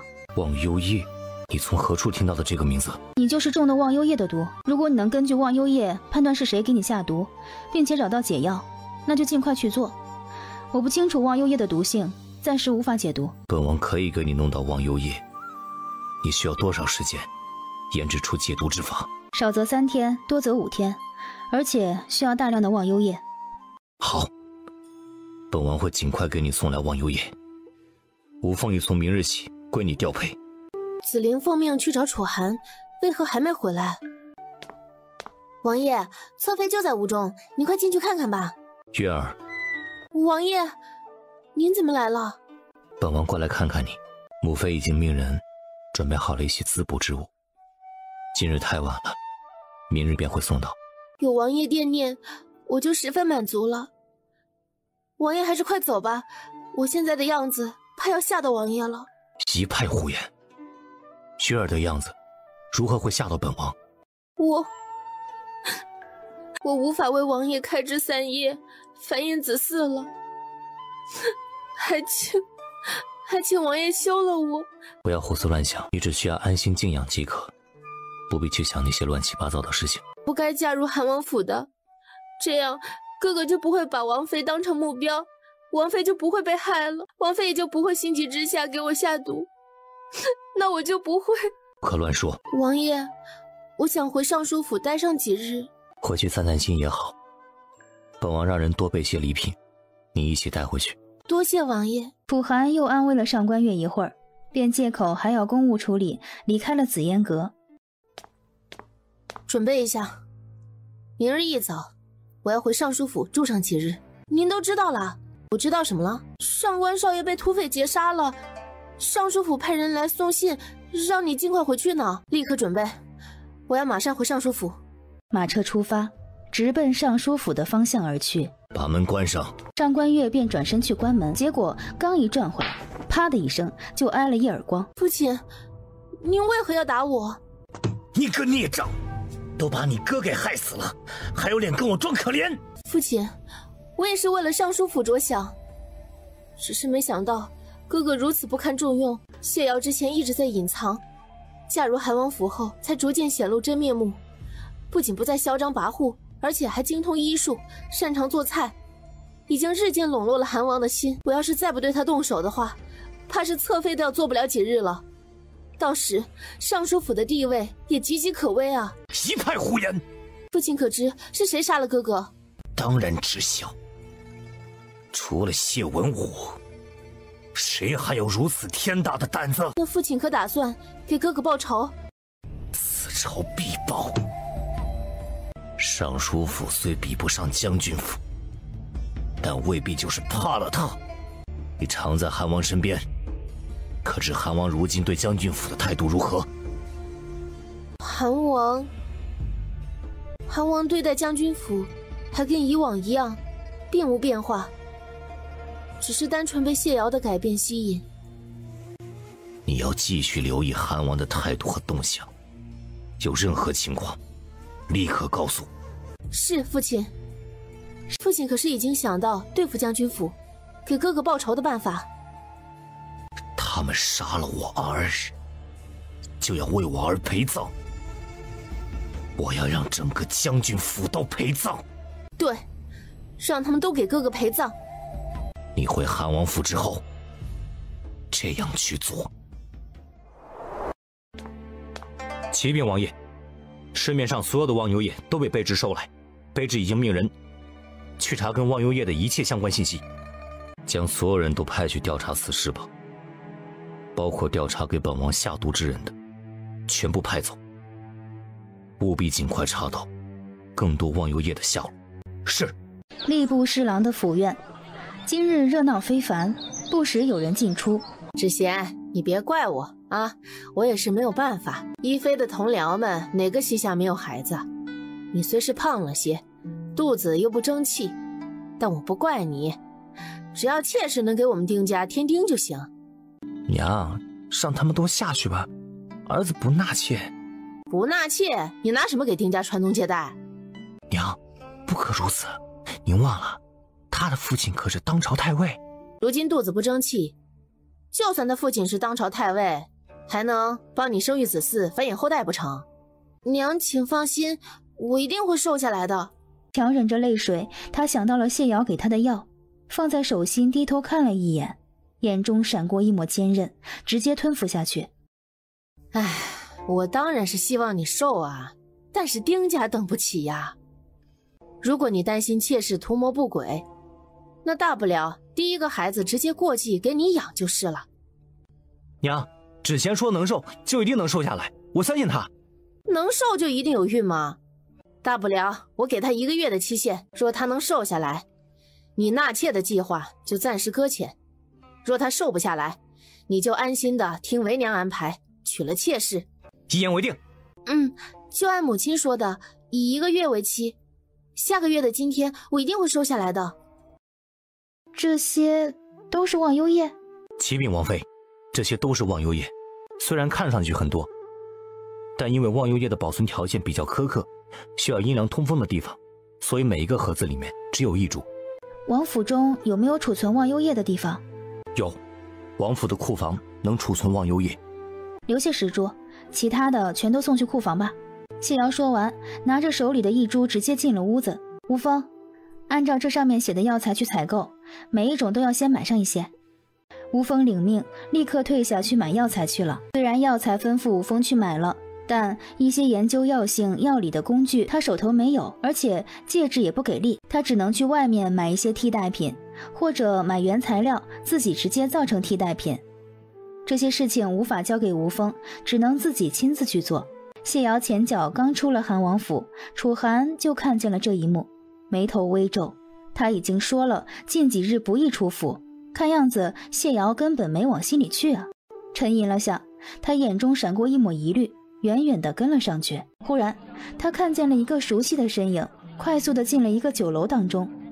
紧接着，风清出现，也跟着进去了。谢瑶挑眉，楚夜这是出来偷吃美食了？韩王妃，风清，去外面守着。是王爷。陈王放心，我来只是想顺便看一下陈王病情如何。其他事情我一律会守口如瓶。韩王妃言重了，本王不过是出来吃一顿，并非秘密。还请陈王配合诊脉。这几日服药后感觉如何？与之前服药的感觉可有什么区别？并没有什么不同。陈王为何出来用膳？难道是府上厨子比不上这里的？吃腻了而已。这几日食欲不佳，出来换个口味。是不是偶尔会反胃、恶心，甚至还会呕吐，感觉腹部不舒服？韩王妃如果知道原因，还请直接告诉本王。陈王不必紧张，你的病情已经在好转。之所以出现这样的情况，是因为一直按照之前的剂量服用药物，只要减量服用，症状就会消失。就在这时，包间的门忽然砰的一声被人一脚踹开。你们在做什么？我在为陈王复诊。老五，没想到你也在这儿。既然如此凑巧，你也进来坐吧。楚夜被撞破了好事，就让本王一起吗？邪妖，你只要一日没有离开韩王府，就一日还是本王的王妃。你必须恪守妇道，不可给韩王府丢脸。我怎么不守妇道了？如果你认为我不守妇道，那便休了我。你以为我稀罕当这个王妃？你休想！五弟，你误会了。本王是吃腻了府里厨子做的菜，便出来吃一顿。没想到巧遇了韩王妃，她是来查看本王的病情，然后重新开药的。楚夜，你是看上谢瑶什么了？竟如此为她开脱？她现在就是一个烫手的山芋，就算你接受了他，父皇也不会同意此事。楚寒，我跟陈王绝对没有你说的那般不堪。我是奉旨给陈王治病的，你难道是连皇上也要怀疑吗？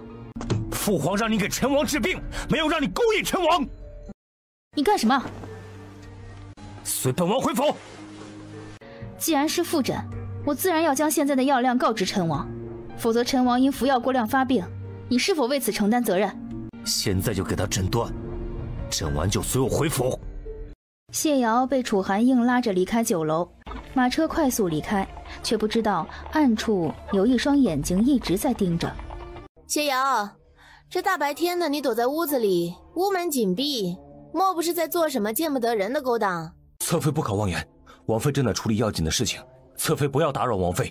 吴风，侧妃请回吧，等王妃忙完了，卑职再命人去通知侧妃。王爷和王妃在做什么？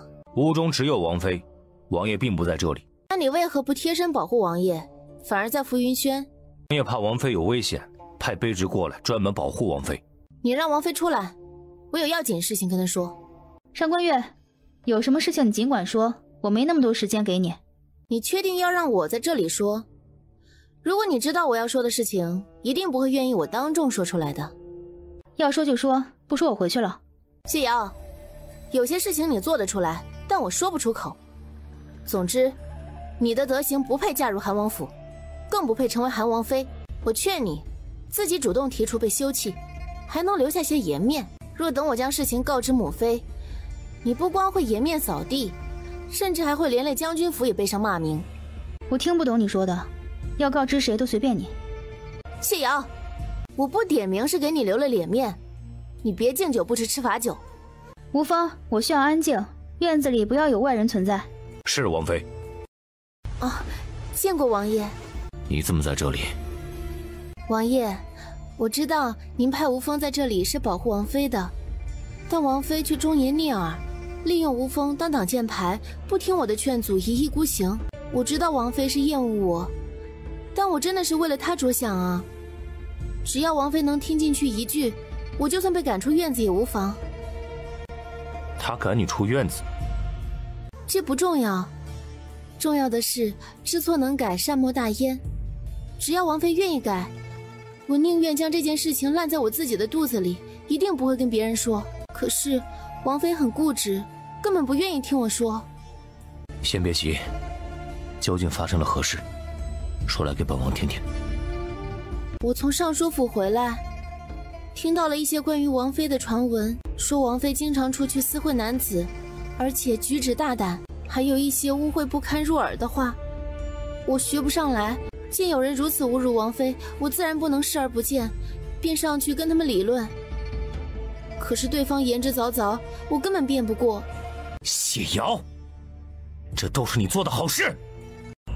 楚寒，你不要血口喷人，我走得正，行得端，无惧那些流言蜚语。若你认为给病人复诊都是如此龌龊的事情，那不如我们去见皇上，请皇上公断。你不必拿父皇来压本王。你做的丑事丢尽了本王的颜面，还好意思去找父皇？王爷，王妃究竟做了些什么？难道外面传的那些不是谣言吗？王妃，你你是王爷的正妃，你怎么能做出这样的事情？我还以为外面的传言都是假的，没想到。你竟然真的私会男人，你这样做如何能对得起王爷？你让王爷日后如何在京城立足？如何在众皇子之中立足？如何面对父皇？我私会男人，你是从何处听来的？王妃还要否认吗？王爷都这么说了，我原本是不相信那些传言的，但是我相信王爷。不过，你能听到那么多坊间传闻，我却一句都听不到。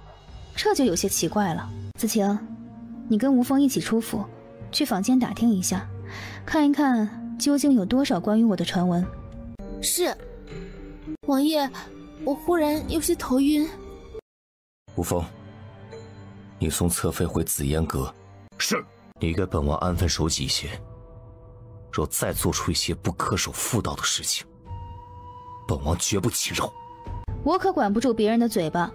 谣言止于智者，你不是傻子，凡事多动动脑子，也对得起你皇子的身份。子晴，我还有事要去做，替我送客。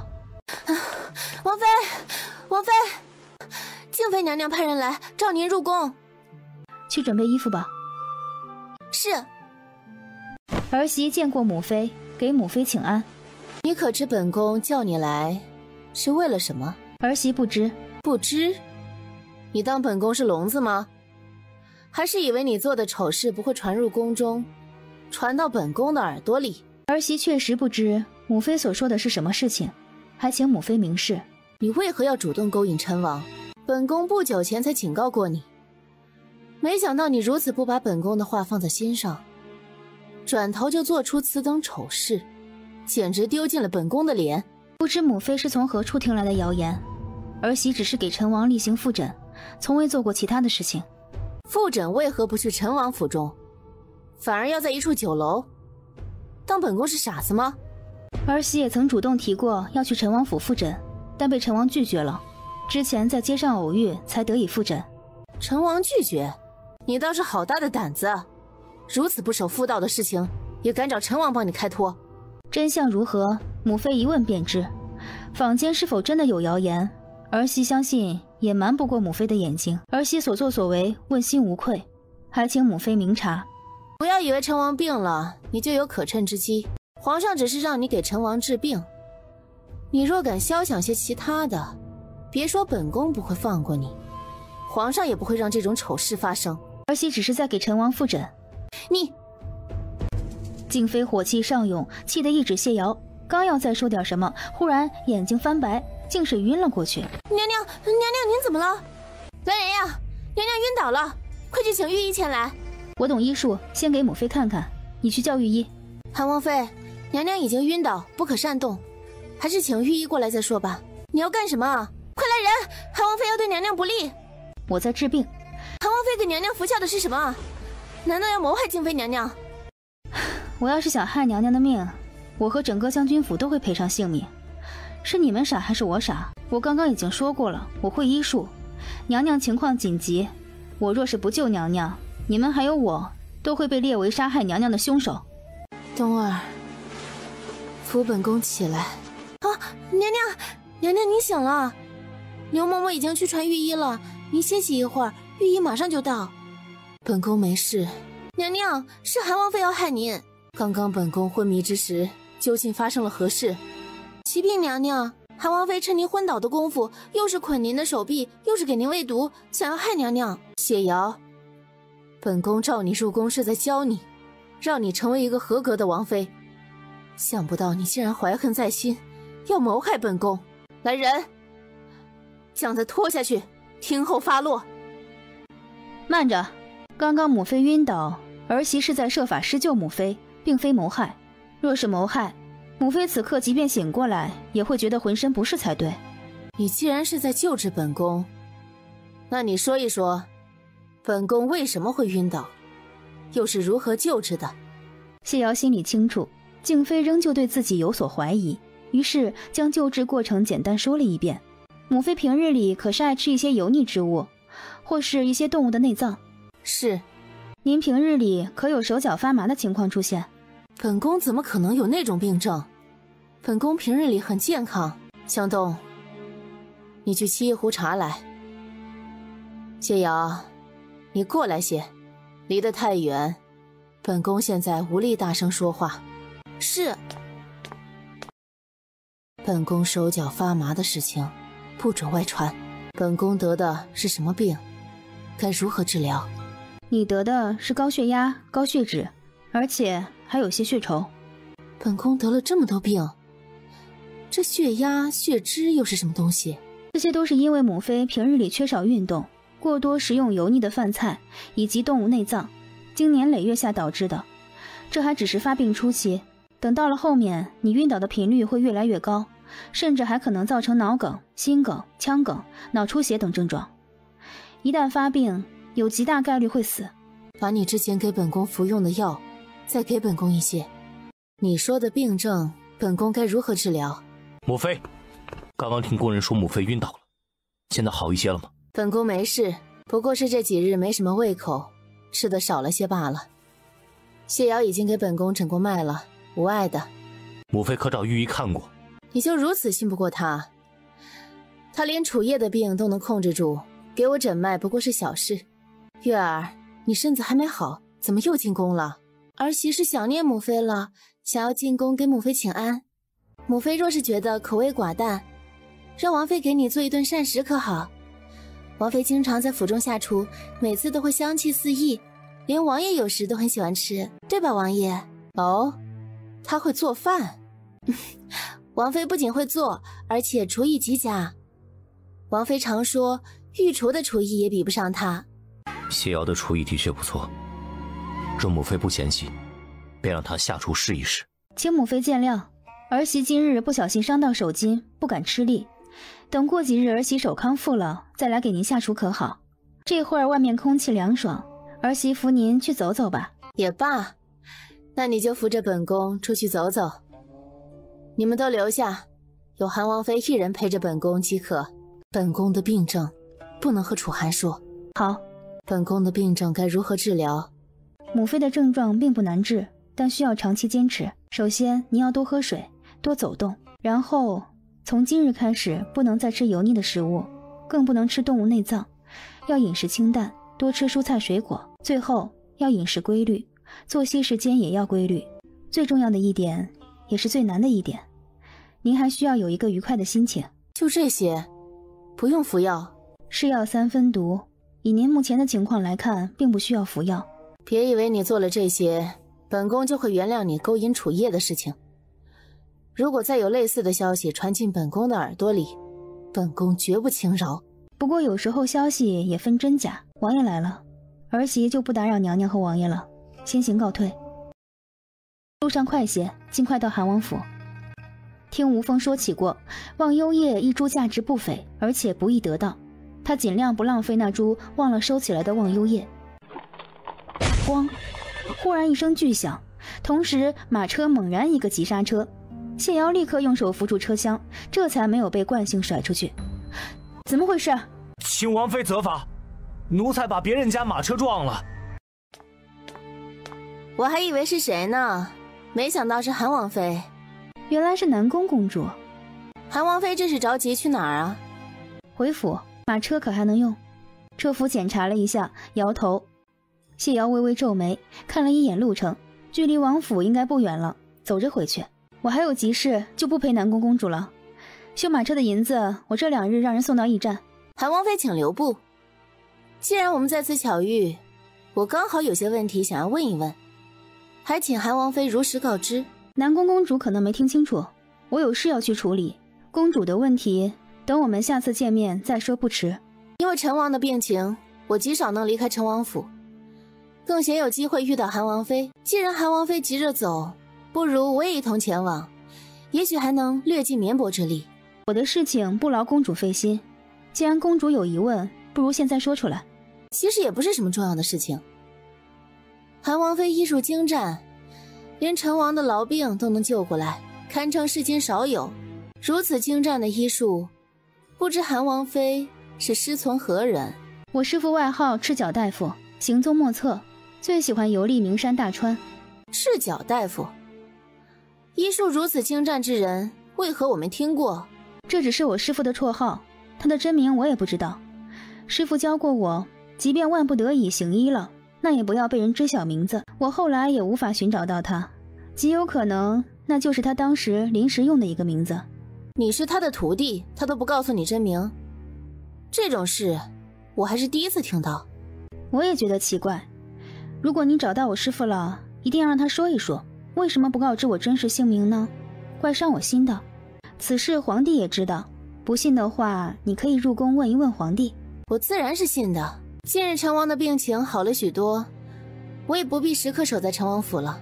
今日刚好巧遇韩王妃，我有个不情之请，不知该讲不该讲。那就不要讲了，我的确有急事。既然公主的问题已经问完，那么下次再会。难得遇见。讲还是要讲的。我一直就想跟韩王妃切磋一下医术，但因为陈王的病情，也一直没有时间。如今有机会了，不知韩王妃什么时间方便？我们随便找个人见证，切磋一下即可。那实在太不巧了，我今日很忙，恐怕没时间和公主切磋，下次吧。侧妃，茶沏好了。对了，外面人说瑞公主回京了。你出府一趟，去一下瑞公主府，告诉瑞公主就说我想她了，但又抽不开身，让她过府一叙。上官月突然想到一事，很重要的事，只有瑞公主来了，才能让谢瑶没办法翻过身来。侧妃，您怎么忽然很喜欢看医书？啊，偶尔感兴趣就拿来看看。对了，让那个雇来的厨子走吧，他已经教不了我什么了。是。一个时辰后，瑞公主抵达紫烟阁。刚一进院子，瑞公主就故意玩闹的高声嚷道：“上官月呢？叫本公主过来，还不快出来迎接？”见过瑞公主。这还差不多。拿着，这是我专程给你带回来的。瑞公主笑着让人拿过一个盒子，递给上官月。这金子是紫色的，挺稀罕的。公主有心了，出去游玩还不忘给我带礼物。多谢公主。哼，哎，你不是说你抽不开身吗？怎么了？五哥进你的族了？我去找五哥给你求情。王爷没有进我的族，我是来找你帮忙的。啊？怎么了？是谁欺负你？告诉我，我给你报仇。是不是谢瑶？还请公主给我做主。谢瑶，你给我出来！奴婢见过瑞公主。谢瑶呢？让她出来见我。她在里面干什么？光天化日之下，她为何要将门窗紧闭，而且还做了遮挡？原来是瑞公主回来了。谢瑶，你鬼鬼祟祟的躲在屋子里做什么见不得人的事情？楚瑞看见谢瑶就不顺眼，冷哼一声，直接迈步往里走。我的房间今日不便参观，若瑞公主感兴趣，择日再来。我不是参观，而是捉赃。王妃，你还是如实说吧。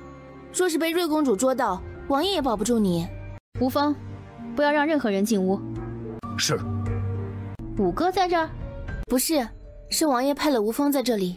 大胆，你竟敢拦我！回头我让五哥治你的罪。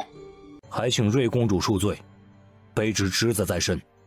你，你最好现在就将门打开，我还可以去五哥面前替你说几句好话。不然，我现在就去叫五哥来。既然瑞公主要去见王爷，那我就不送了。请送客。谢瑶，不要不知好歹！你以为一个无风就能挡住我？今日这屋子我一定要见。瑞公主如此言之凿凿，莫非是得到了什么确切的消息？你让无风挡着不让我们进去，分明就是心虚。此事我若是没看见也就罢了，如今我既然看见了，你的丑事无论如何也不可能瞒得住，还不快让吴风让开！王妃，不妨就让吴风让开，让瑞公主进去看看。若你没做错事，瑞公主也不会揪着你不放的。我是否清白，并不需要别人来证实。倒是上官侧妃，把瑞公主请过来，想必是诉了不少苦水。可是连你不能怀孕的事情也一并说了。楚瑞因为人在谢瑶的背后，所以并未听清谢瑶的这句话。谢瑶，你大胆，竟敢当着我的面威胁上官月！公主不用管我，正事要紧。上官月，你在这里守着，别让谢瑶破坏证据。我去找五哥。你们在干什么？成何体统？五哥，你来的正好。谢瑶紧闭门窗，不知道在里面做什么见不得人的事情。我要进去查看，他还让吴峰拦着我。不可无礼！王爷息怒。我跟瑞公主闲聊时，公主得知我的近况，便震怒着就要来找王妃，我也阻拦不住。五哥，你不要怪上官月，要怪就怪谢瑶，是他欺人太甚。谢瑶做了坏事，当然要受到惩罚。上官月好欺负，我可不好欺负。五哥，你让吴峰把门打开，只需进去一看，就知道谢瑶在做什么坏事了。王爷，我也相信王妃是无辜的，但事情已经发生，若不让王妃打开门以示清白的话，怕是又要有一些流言蜚语传出来了。我倒是忘了，上官侧妃在流言蜚语上极具天赋，现在又要给我再追加一条吗？既然瑞公主认定了。我在做一些见不得人的事情，自然是有所依据的。但若瑞公主找不到你要找的证据，又该当如何？不可能！哼，你名声卑劣，在京城无人不知。虽嫁入了韩王府，但江山易改，本性难移。你先是毒害打压上官月，后又勾引我三哥，你什么丑事做不出来？我只怕一会儿你做的丑事让我震惊。若我找不到你做丑事的证据，你让我如何？若找不到。瑞公主便趴在地上喊三声：“我是蠢猪”，再学三声猪叫即可。谢瑶，你一言为定。上官侧妃也要加入我和瑞公主的赌约之中吗？这是王妃跟瑞公主的赌约，我就不参加了吧。既然如此，那你便在外面等着吧。你若进屋，我便视你也加入赌约。谢瑶，你竟然在王府里研制毒药，你可知罪？没想到瑞公主也懂医，不知道说的是哪种毒药。明知故问，你研究了何种毒药会不知？我研制了多种毒药，也不知瑞公主指的是哪一种啊？楚瑞没有再说话，不过里面传来了一声东西掉落的声音。瑞公主是来找证据的，还是来拆家的？损坏的东西都是我的心头爱，全部要加倍赔偿。那个偷偷放置的盒子里装的是一种毒素，而且还是楚寒体内新出现的一种毒素。上官月为什么会有这个毒？难道？与尚书府有关，这什么杂草？怎么到处都是啊？子晴，瑞公主损坏的东西全都记录下来。谢瑶吩咐了一声，回头看见上官月已经站在屋子里了。上官侧妃这是想好了？我本是好心关心王妃，既然王妃如此，那我就加入你们的赌约又如何？我自然是没有问题了。不过瑞公主贵为公主，身份不是你一个妾室能比的，所以瑞公主需要叫三声，而你。需要叫六声，瑞公主，搜的仔细些，衣柜、床角之类的，一个都不要放过。瑞公主，你可一定要仔细些。夕瑶，你究竟将证据藏在了何处？若再不交出来，我就让人将这里拆了。你一定是在做什么见不得人的勾当。东西被拿走了，一定就是谢瑶搞的鬼。该死的谢瑶，一定是提前发现了盒子不说，还故意引他上当。楚瑞又翻找了几处，仍旧没有发现。完全没有发现谢瑶给上官月下毒的毒药，也没有发现谢瑶和其他人的信件，然后才悻悻地走了出去。算你狠，把什么东西都给销毁了。两位，请吧。哼，谅你也不敢惩罚我。他日不要再做见不得人的勾当，不然我见一次还是要查一次。瑞公主会错意了，我说的请是开始你输掉赌约的惩罚。谢瑶，你敢！我是皇家公主哦，原来皇家公主还是有特权的，可以。谢瑶，今日的闹剧到此为止，各自散了。还不回宫，等着继续在本王府中闹事吗？是五哥。哼，瑞公主请留步。谢瑶，刚刚瑞公主一共毁坏了忘忧叶一株，其他中药九种，还有。更重要的，公主损坏的忘忧叶是关键样本，将直接影响接下来的研制。所有损伤，你稍后可以报给吴峰。他会如数全部补给你。不必了，既然王爷如此不重视，研制也就没有继续下去的必要了。一会儿让吴峰将所有东西都搬走吧。楚瑞，履行承诺。五哥，不可！我若做了，折损的是皇家的脸面呀！若父皇知晓，一定会责问的。你也知道折损的是皇家的脸面。上官月，我是为了你出头的，你帮我履行赌约吧。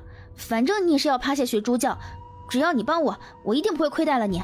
公主是为了帮我才来的，虽然输了赌约，结果自然是我来承担。说完，他转向谢瑶，眼中的怒火盛得仿佛要将其吞噬，然后缓缓蹲下，趴在了地上。我是蠢猪，我是蠢猪。接连喊了九声，又学了九声猪叫。上官月艰难地做完这一切，觉得漫长的仿佛过了一辈子一样。还差三次，谢瑶，我分明都已经按照赌约做了，王爷也在，难道你还想污蔑我不成？谢瑶，你不要得寸进尺，我是诚信之人，所以让上官月帮我履行赌约，并不是怕了你。开始赌约时，我就已经说明，公主的三次等于上官侧妃的六次，莫非公主打算自降身份？跟上官月一样，楚瑞哑然，自降身份的话，他是绝对说不出的。上官月更不敢说自己跟公主一样，所以只能乖乖又照做了三次。整张脸已经涨成了猪肝色，起身后直接道了句身体不适，逃一样离开了。我累了，子晴送客。事情过去，韩王府倒是平静了几日，表面上看各自相安无事。谢瑶算了下时间，是时候回将军府看一下那祖孙三人的中毒情况了，便直接离开韩王府。临走前，他命人将研制好的解药给楚寒送了去。子晴，去准备两条鱼，要大一些的，再准备些木柴，就跟上次烤鸡一样的就行。韩王妃，您来的正好，快进去看一看老将军吧。祖父怎么了？您进去一看就知道了。老将军，韩王妃来了。哼。他还知道来？里面传来一声不满的冷哼，紧接着老将军出来，一看谢瑶两手空空，又立刻折返回去了。都没有一点孝心，不见。祖父，我已经让子晴去准备了，今日给您烤鱼。祖父还没吃早膳啊，您接着吃，一会儿凉了。我吃完了。莫离，进来把这些碍眼的东西都端走。老将军，您多少吃一点吧，身体要紧。您看，您这几日都瘦了好几斤了。李伯，您先出去吧，祖父还没吃饱。莫离，仔细你的皮！来，快吃早膳了。哎，不吃。你不吃早膳的话，胃就不会那么活跃。等到中午的时候，他以为你还不吃东西，还是不会活跃。结果您还没等吃几口烤鱼，胃就装不下了，您只能干看着了。您前几日吃的少时还会觉得饿，这几日是不是越发不会觉得饿了？哎呦！我吃，行了吧？是孙女考虑不周，若祖父馋了，便命人去找我。我即便回不来，也可以做一道菜让人送过来的。嗯，这还差不多。莫离，进来收拾桌子。哎，不必麻烦黎伯，我来吧。放着，你把我撑成这样，得陪我去府中走走。老将军，你把嘴闭上，收拾桌子用嘴啊！老将军一声呵斥。朝着外面走去。陈王的病情如何了？已经在好转了，不过痨病不容易痊愈，再加上陈王患病太久太深，至少需要三个月的时间才能痊愈。呃，不急，慢慢治。您是说，一旦陈王痊愈，我就失去了利用价值？永远不要把希望寄托在别的人或者别的事情上面，只有自身足够强大了。才足以抵御一切。谢瑶认真听着，心道：不论什么原因，他慢慢治着陈王的病症就是了。痨病也的确不是一日两日就可以康复的病症。行了，我累了。你问问子晴，把鱼准备好了没有？我饿了。已经去准备了，应该很快就会送到。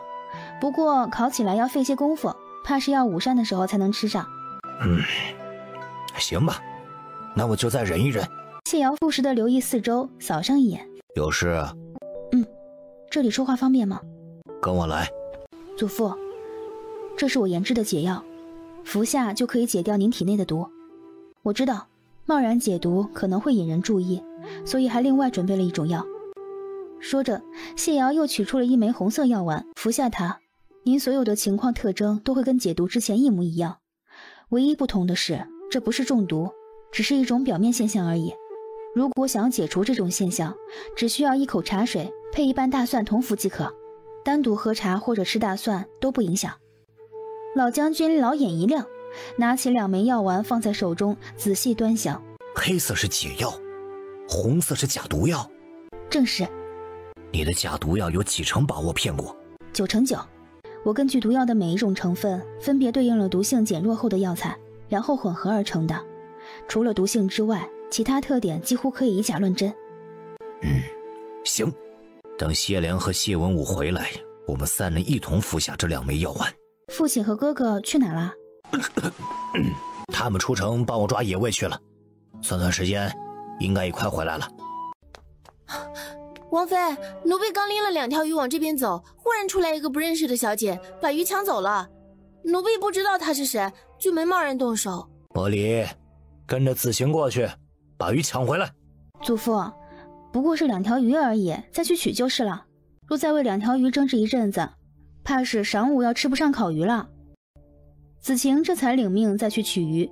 不一会儿，子晴回来，手里拎着两条大鱼，不过满脸怒容。怎么了？奴婢又遇见那个抢鱼的小姐了，她还要抢我的鱼。看打扮不是下人，应该是哪家的小姐？哦。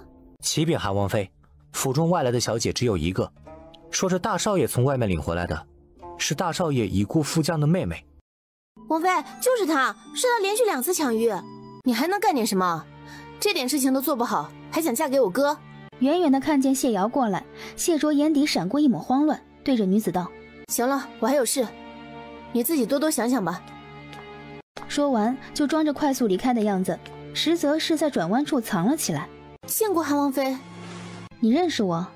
我，我曾有幸见过韩王妃一面，当时距离较远，韩王妃应该是不记得了。我的确是不记得了，是你抢了子晴的鱼。王妃息怒，我不知道是王妃要用鱼，只是一时嘴馋，还请王妃恕罪。你叫什么名字？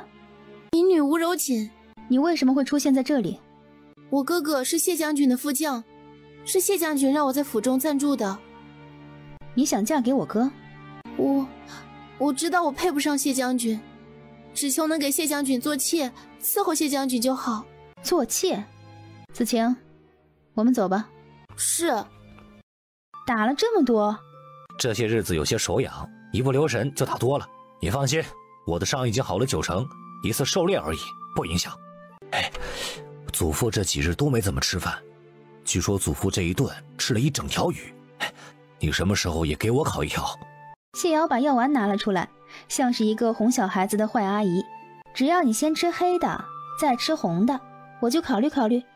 谢文武看了一眼，猜到是解药的药丸，只是奇怪为什么是两枚呢？也没多问，一口将黑色药丸吞下，就伸手去拿红色的。哎，别急，等一会儿再吃，先闭着眼睛仔细感受一下。我怎么感觉好像体内的毒全都解了？全解就对了。这颗红色的是可以让你恢复之前的中毒症状，但并非中毒。无论是谁给你们诊脉，都不会看出任何异样。有中毒症状却不是中毒，妹妹，你简直是天纵奇才呀！那是当然，有我这样的妹妹，你就偷着乐吧。王爷，御医已经在路上，很快就到。老管家阿良在床前盯着，寸步不离。床榻上躺着的平西王脸色极差，轻笑了一下：“何必叫御医？随便叫个大夫来就好。不可，您的病情，寻常大夫岂能看得好啊？即便是御医能医好本王又如何？你命人去宫中请御医，御医也未必会来。你还是去一趟汉王府吧，让小五过来。”本王想最后见他一面。老奴知道您此次回京就是为了见韩王殿下，已经命人前去给韩王送信了。那便请他们夫妻二人一同前来。他们成亲时，本王没能赶过去。现在正好，一起见一见。王妃，王妃，王爷有请。府中来了贵客？没有。那他叫我过去做什么？呃，府中的确来了一个人，不过应该不是京城人士，说是有人要请王爷过去一趟。至于为何叫王妃，奴才斗胆猜测，王爷应该是要和王妃一同前往。不去，无妨，你直接跟他回复我的原话即可。又过了会儿，楚寒出现在院中，沉声道：“谢瑶，上官侧妃温柔贤淑，知书达理，你带她去才是对的选择。”子晴，给王妃更衣。是。片刻之后，他穿戴完毕，走了出来。我们要去见的人身体欠佳。你还是将药箱也带上吧。想了一下，他还是回去拿上了药箱。一会儿要见的人是平西王，他的身体很差。如果可以，本王希望你能出手救治。等到了看情况吧，能否医治也要看患者的病症和心态。多谢了，皇叔，你怎么坐起来了？本王躺了一整日了，坐一会儿无妨。你也过来，陪本王坐会儿。那好。我就陪您坐着，我来沏茶吧。这位就是侄媳妇儿吧？见过皇叔，给皇叔请安。不必拘礼，过来坐。小五子，你媳妇儿懂医。皇叔，您别这么叫我。你看本王的记性，忘了你已经娶亲，用之前的称呼，确实是不妥。皇叔。用茶吧，皇叔镇守西江多年，一次都未回来过。今日突然回京，是为了何事？唉本王这次回来，其实也没什么事，就是想家了，打算常住下来，不打算走了。您的身体没什么大惊小怪的，生老病死，人之常情罢了。皇叔可找御医查看？不必了，本王的身体如何，本王比他们都清楚。找他们也是白费时间，平白的影响心情。丫头，皇叔，您说，你是谢莲的女儿吧？谢莲正是家父。没想到那个家伙能生出个这么漂亮懂事的女儿，是他积来的福。皇叔谬赞了。皇叔，本王虽然身体欠佳。但不是聋子瞎子，这点判断力还是有的。而且本王说的话自有本王的道理，你现在可以不信，等日后自然会信。皇叔，身体要紧，既然您不愿请御医大夫，那就让谢瑶给您看一看，如何？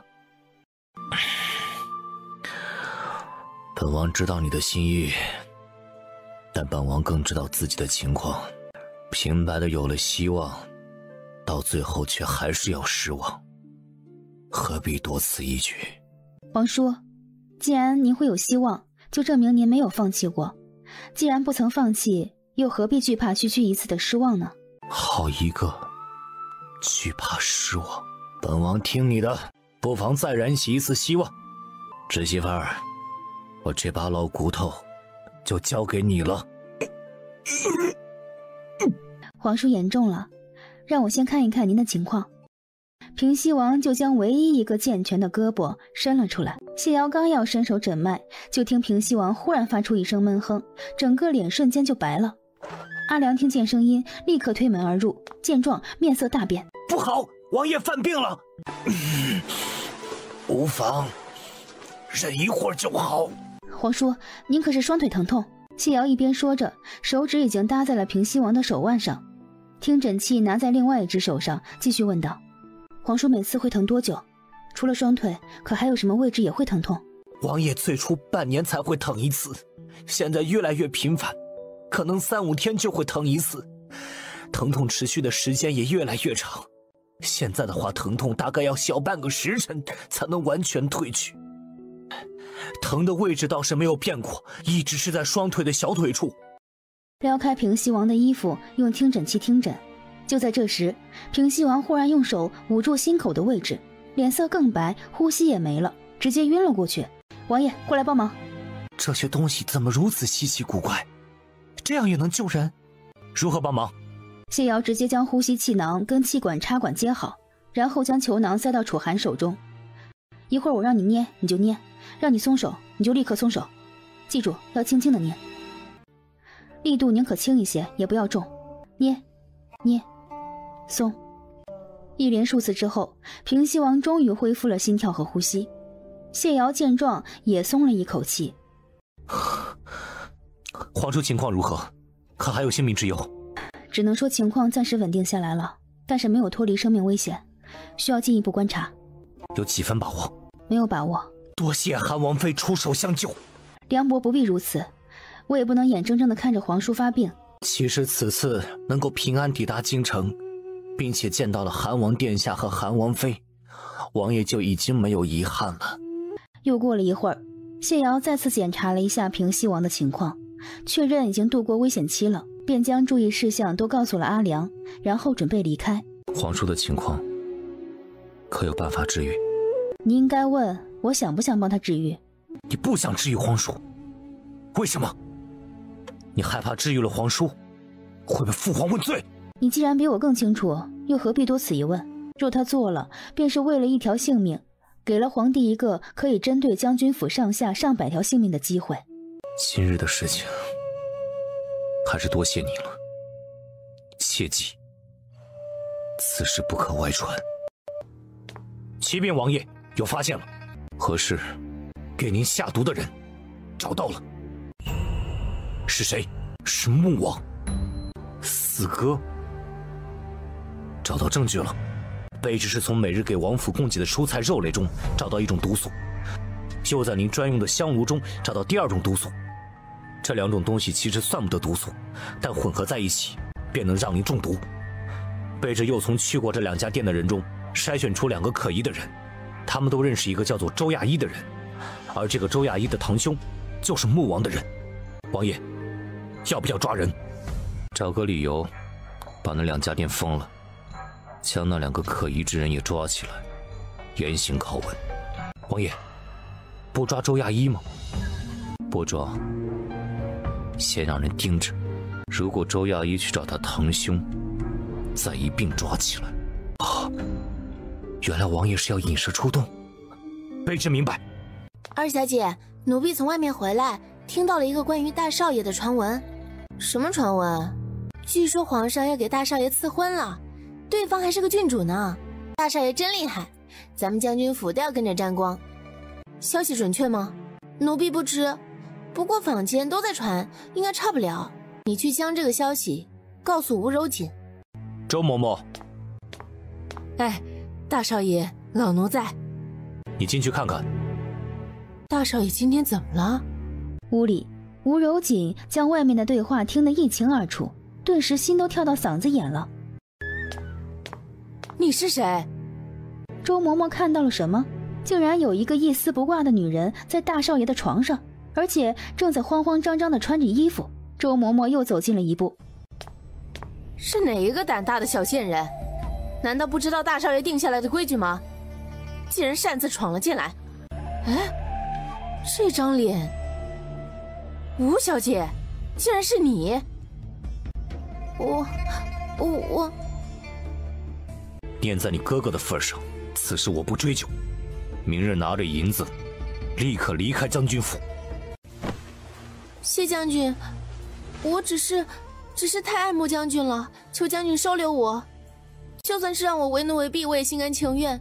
只要能让我留在将军府，让我做什么我都愿意。周嬷嬷，带他出去。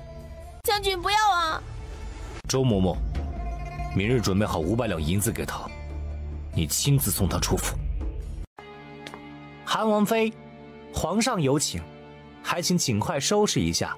随咱家入宫一趟，刘公公，请去前厅稍等片刻，容我洗漱打扮一下。不必了，咱家就在这里等，韩王妃快些就好。韩王妃，我们又见面了。原来南宫公主也在这儿啊。韩王妃，既然你我在宫中巧遇，不如就此机会，等给一菲诊治完毕之后，你我切磋一下医术如何？我的医术从来都是用来救人的，而不是用来比试作秀的。韩王妃不必如此。既然是我要切磋，自然会考虑周全。韩王妃大可放心，在你给一妃诊治完毕之前，我不会打扰你的。我只需要你答应跟我切磋即可，其他的事情一会儿再说。我要先给一母妃诊病，你会答应的，是吗？韩王妃，请进来吧。是，见过父皇。免礼。父皇召儿媳前来是为了什么事？你见过平西王了？回父皇，是的。他情况如何？皇叔的身体尚可。自从昭楚元年至今。朕已有十年没见过他了。平西王是朕的玉帝，如果可能，朕希望他可以健康的活着。你可有把握治愈平西王的病症？平西王的顽疾已经持续了太长的时间，盘根错节，儿媳没有治愈的把握。一妃这几日身子不适，也是最近几月才有。你去看看吧。一妃就在正殿。是。见过姨母妃，给姨母妃请安。不必多礼，坐吧。本宫实在是疼得厉害，你可有方法救治？伊母妃可否告知您是什么地方疼？疼的感觉又是如何的？娘娘是腰部、腹部疼痛，之前也疼过，但这几日自疼的尤其剧烈。这样的情况已经断断续续持续好几个月了。伊母妃，还请将手伸出来，我先给您诊脉。不必了。一会儿叫御医过来，他自会跟您说的。伊母妃可是觉得腹部有绞痛感？是。这时南宫燕急匆匆的进来了，不过她没有说话，只是站在谢瑶的侧后方，难得很安静的看着，可有恶心呕吐的感觉。本宫为何偶尔会有恶心之感？娘娘，您会不会是？闭嘴！易母妃，您偶尔会恶心的感觉，的确是由腰腹部疼痛引起的。不过目前来看不算严重，至少要稍作调理即可。本宫的病症你能治？本宫究竟得的是什么病症？伊母妃并非得了重症，无需担心，只是肾里面长了几块小石头而已。肾结石只是普通的病症，并非疑难杂症，更不是重症。一派胡言！本宫的身体里怎么可能会有石头？你若再敢胡言乱语，本宫便命人将你逐出宫去。南宫公主。还是你来给本宫看一看吧，他已经给本宫看过了，你也不算违抗皇命，那我就给您诊治一下。伊母妃，您近日小姐后可曾留意过共同里可有什么异常？韩王妃，你此话是何意？罢了，本宫今日累了，不诊脉了。来人送客。韩王妃，本宫的秘密，你究竟是从何处得知的？如果我将伊母妃的病症治好，这秘密就不会存在下去。真是你看出来的，那你便给本宫医治。若治不好，本宫一样能让皇上治你的罪。我刚刚只是信口胡言，并没有治病的本事，请依母妃责罚。韩王妃，本宫刚刚不过是做给别人看的，并非是针对你。你既然看出了本宫的症状，也该知晓那是密事，不可被他人知晓。既然这里没有外人，我就不跟伊母妃拘礼了。您的肾结石治疗不难，难在这是一个持久的过程，短则三两月，多则三五年都有可能。多久能看见效果？大概半个月左右，绞痛感会有明显减弱，供桶中会有几日的情况加剧，但过后就会恢复正常了。绞痛感消失，本宫的病就痊愈了。见过万齐国皇上，公主不必拘礼。求见朕何事？宜妃让所有人都退了出来，只留下韩王妃在里面。按照之前他和昭楚帝的约定，他是该对谢瑶寸步不离的。他跟一妃都说了什么？南宫燕立刻将当时的情况如实陈述一遍，不过刻意避开了共统的部分。肾结石，这是什么病症？闻所未闻，应该是韩王妃凭空杜撰的。那你打算如何做？还是按照之前所说，安排一场我跟他的医术切磋。只要他行医，我就一定能学到。去吧，谢瑶该出来了。韩王妃，请留步。既然来了，又何必急着走？切磋已经在准备当中，很快就好。韩王妃不必着急。关于切磋的事情，我并未答应过你。韩王妃自然没答应过我，但这次切磋你无需答应。韩王妃谢瑶，南宫公主南宫燕接旨。昭楚帝不光专门下旨让他和南宫燕切磋医术，而且还让他代表万齐国。